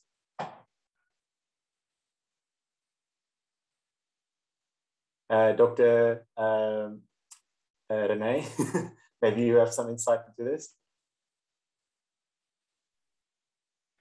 Sure. So uh, the short answer is depending on the objective um, of your research and the surveillance program that you're rolling out. So what you're looking at, what you're looking for. Of course, you know, what you need to get from the sample is the most bang for your buck. So sampling is expensive to collect these samples. Um, we would love to do daily sampling. Uh, our program at the moment, um, you know, uh, we're doing weekly, which is giving us a lot of information. But again, uh, you know, twice or thrice or every day sampling would give us, uh, you know, a different um, information. So I think it's about how you set up your program, what you want to um, what you want to determine and you've also got to think about you know the people involved uh, the funding involved and what your main aim is i suppose also the fact that um, amr um, has a bit of a longer duration in terms of, of risk than something like uh, covid does so would something like monthly surveillance would be more practical than weekly in terms of, of, of uh, trying to um, account for the costs that it might have.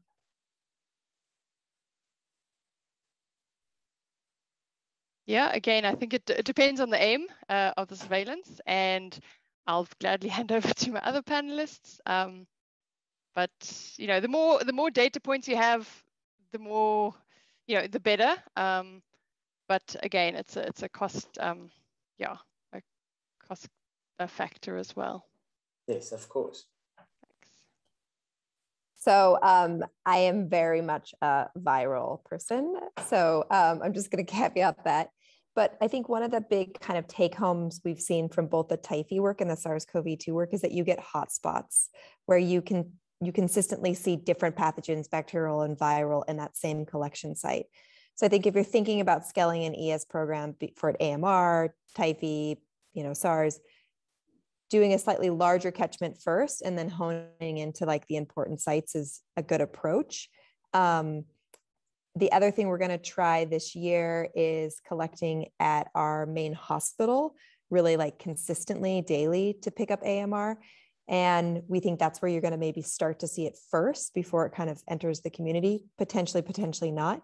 We have a, a we don't have the same situation as they do in Tunisia, where there there's tons of antibiotic use, but there's still a lot here. And it's not that easy to control where people are using it. And I think that also creates a little bit of a headache of where you sample and how often. Yes, absolutely. Uh, thank you for that. That was a, was a good reply. Um, the next question is a bit, it, I think it touches on all the panelists actually, but it's about increasing, uh, including other organisms uh, other than bacteria and viruses, for example. What about um, the emergence of anti um, um, multi-drug resistance in fungi in water?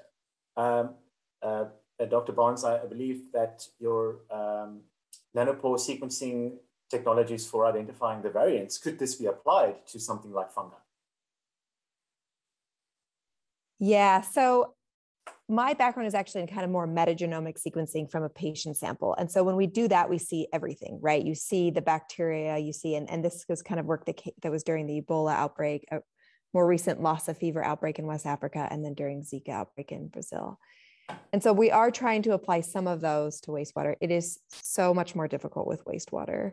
And it's also so much more expensive to sequence and get any kind of interesting metagenomic information. And I think that's probably more of an Illumina based approach. But um, there are, I mean, there are now, like, there's no reason you couldn't do amplicon kind of panels to a variety of different pathogens and then sequence those using a MinION. And so I think little by little more kind of amplicon based PCR, you know, pools will become available so people can look at their bespoke pathogens. But yeah, there's a lot of, I think this is like wide open, this, yeah, this area. Absolutely. Um, uh, Dr. Uh, Stange, maybe you can, uh, can provide some insight into this? Um, yes, of course, you can also look for fungi and antibiotic resistant genes. But um, yeah, I think that's the problem with the antibiotic resistance. There's a broad spectrum of different bacteria, fungi, genes. So you have to focus on something because you, if you lost the focus, then um, it's difficult. So yes, I absolutely. think that's a an important point what parameters should be monitored that's uh, one question i think that has to be answered in the next years because Absolutely. we not can we cannot look for all of the different parameters. So yeah. that's so so that actually flows into the next question. I think it's a very important question and it ties together the whole surveillance aspect um, which i will read directly from from the person who asked it. The monitoring of wastewater is very beneficial and should be implemented for more such like research, including antibiotic genes, um, antibiotic resistance genes. I am just wondering, uh, is this research approach viable worldwide in terms of the need of expensive equipment, training, and funding?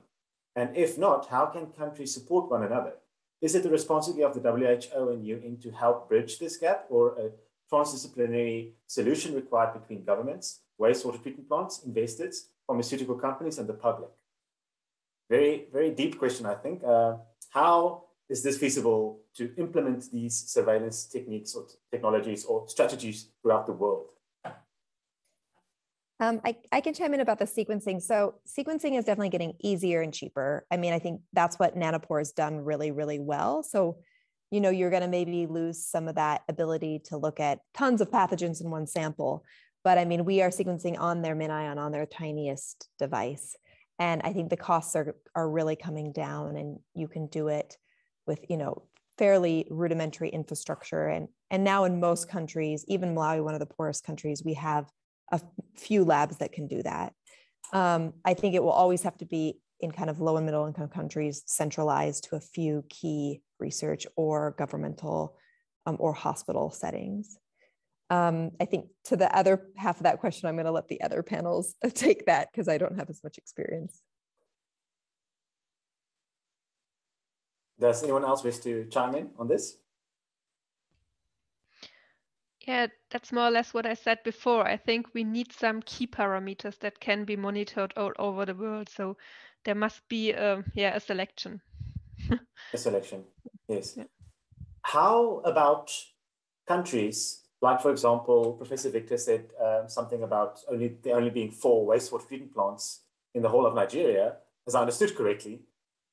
How do we monitor that? Do we, I mean, the, the good thing about a wastewater treatment plant is it's a nice centralized collection point to get samples. But sampling from a river, there are external factors that maybe might influence the results. How, how, does, how do we get to sample these types of places?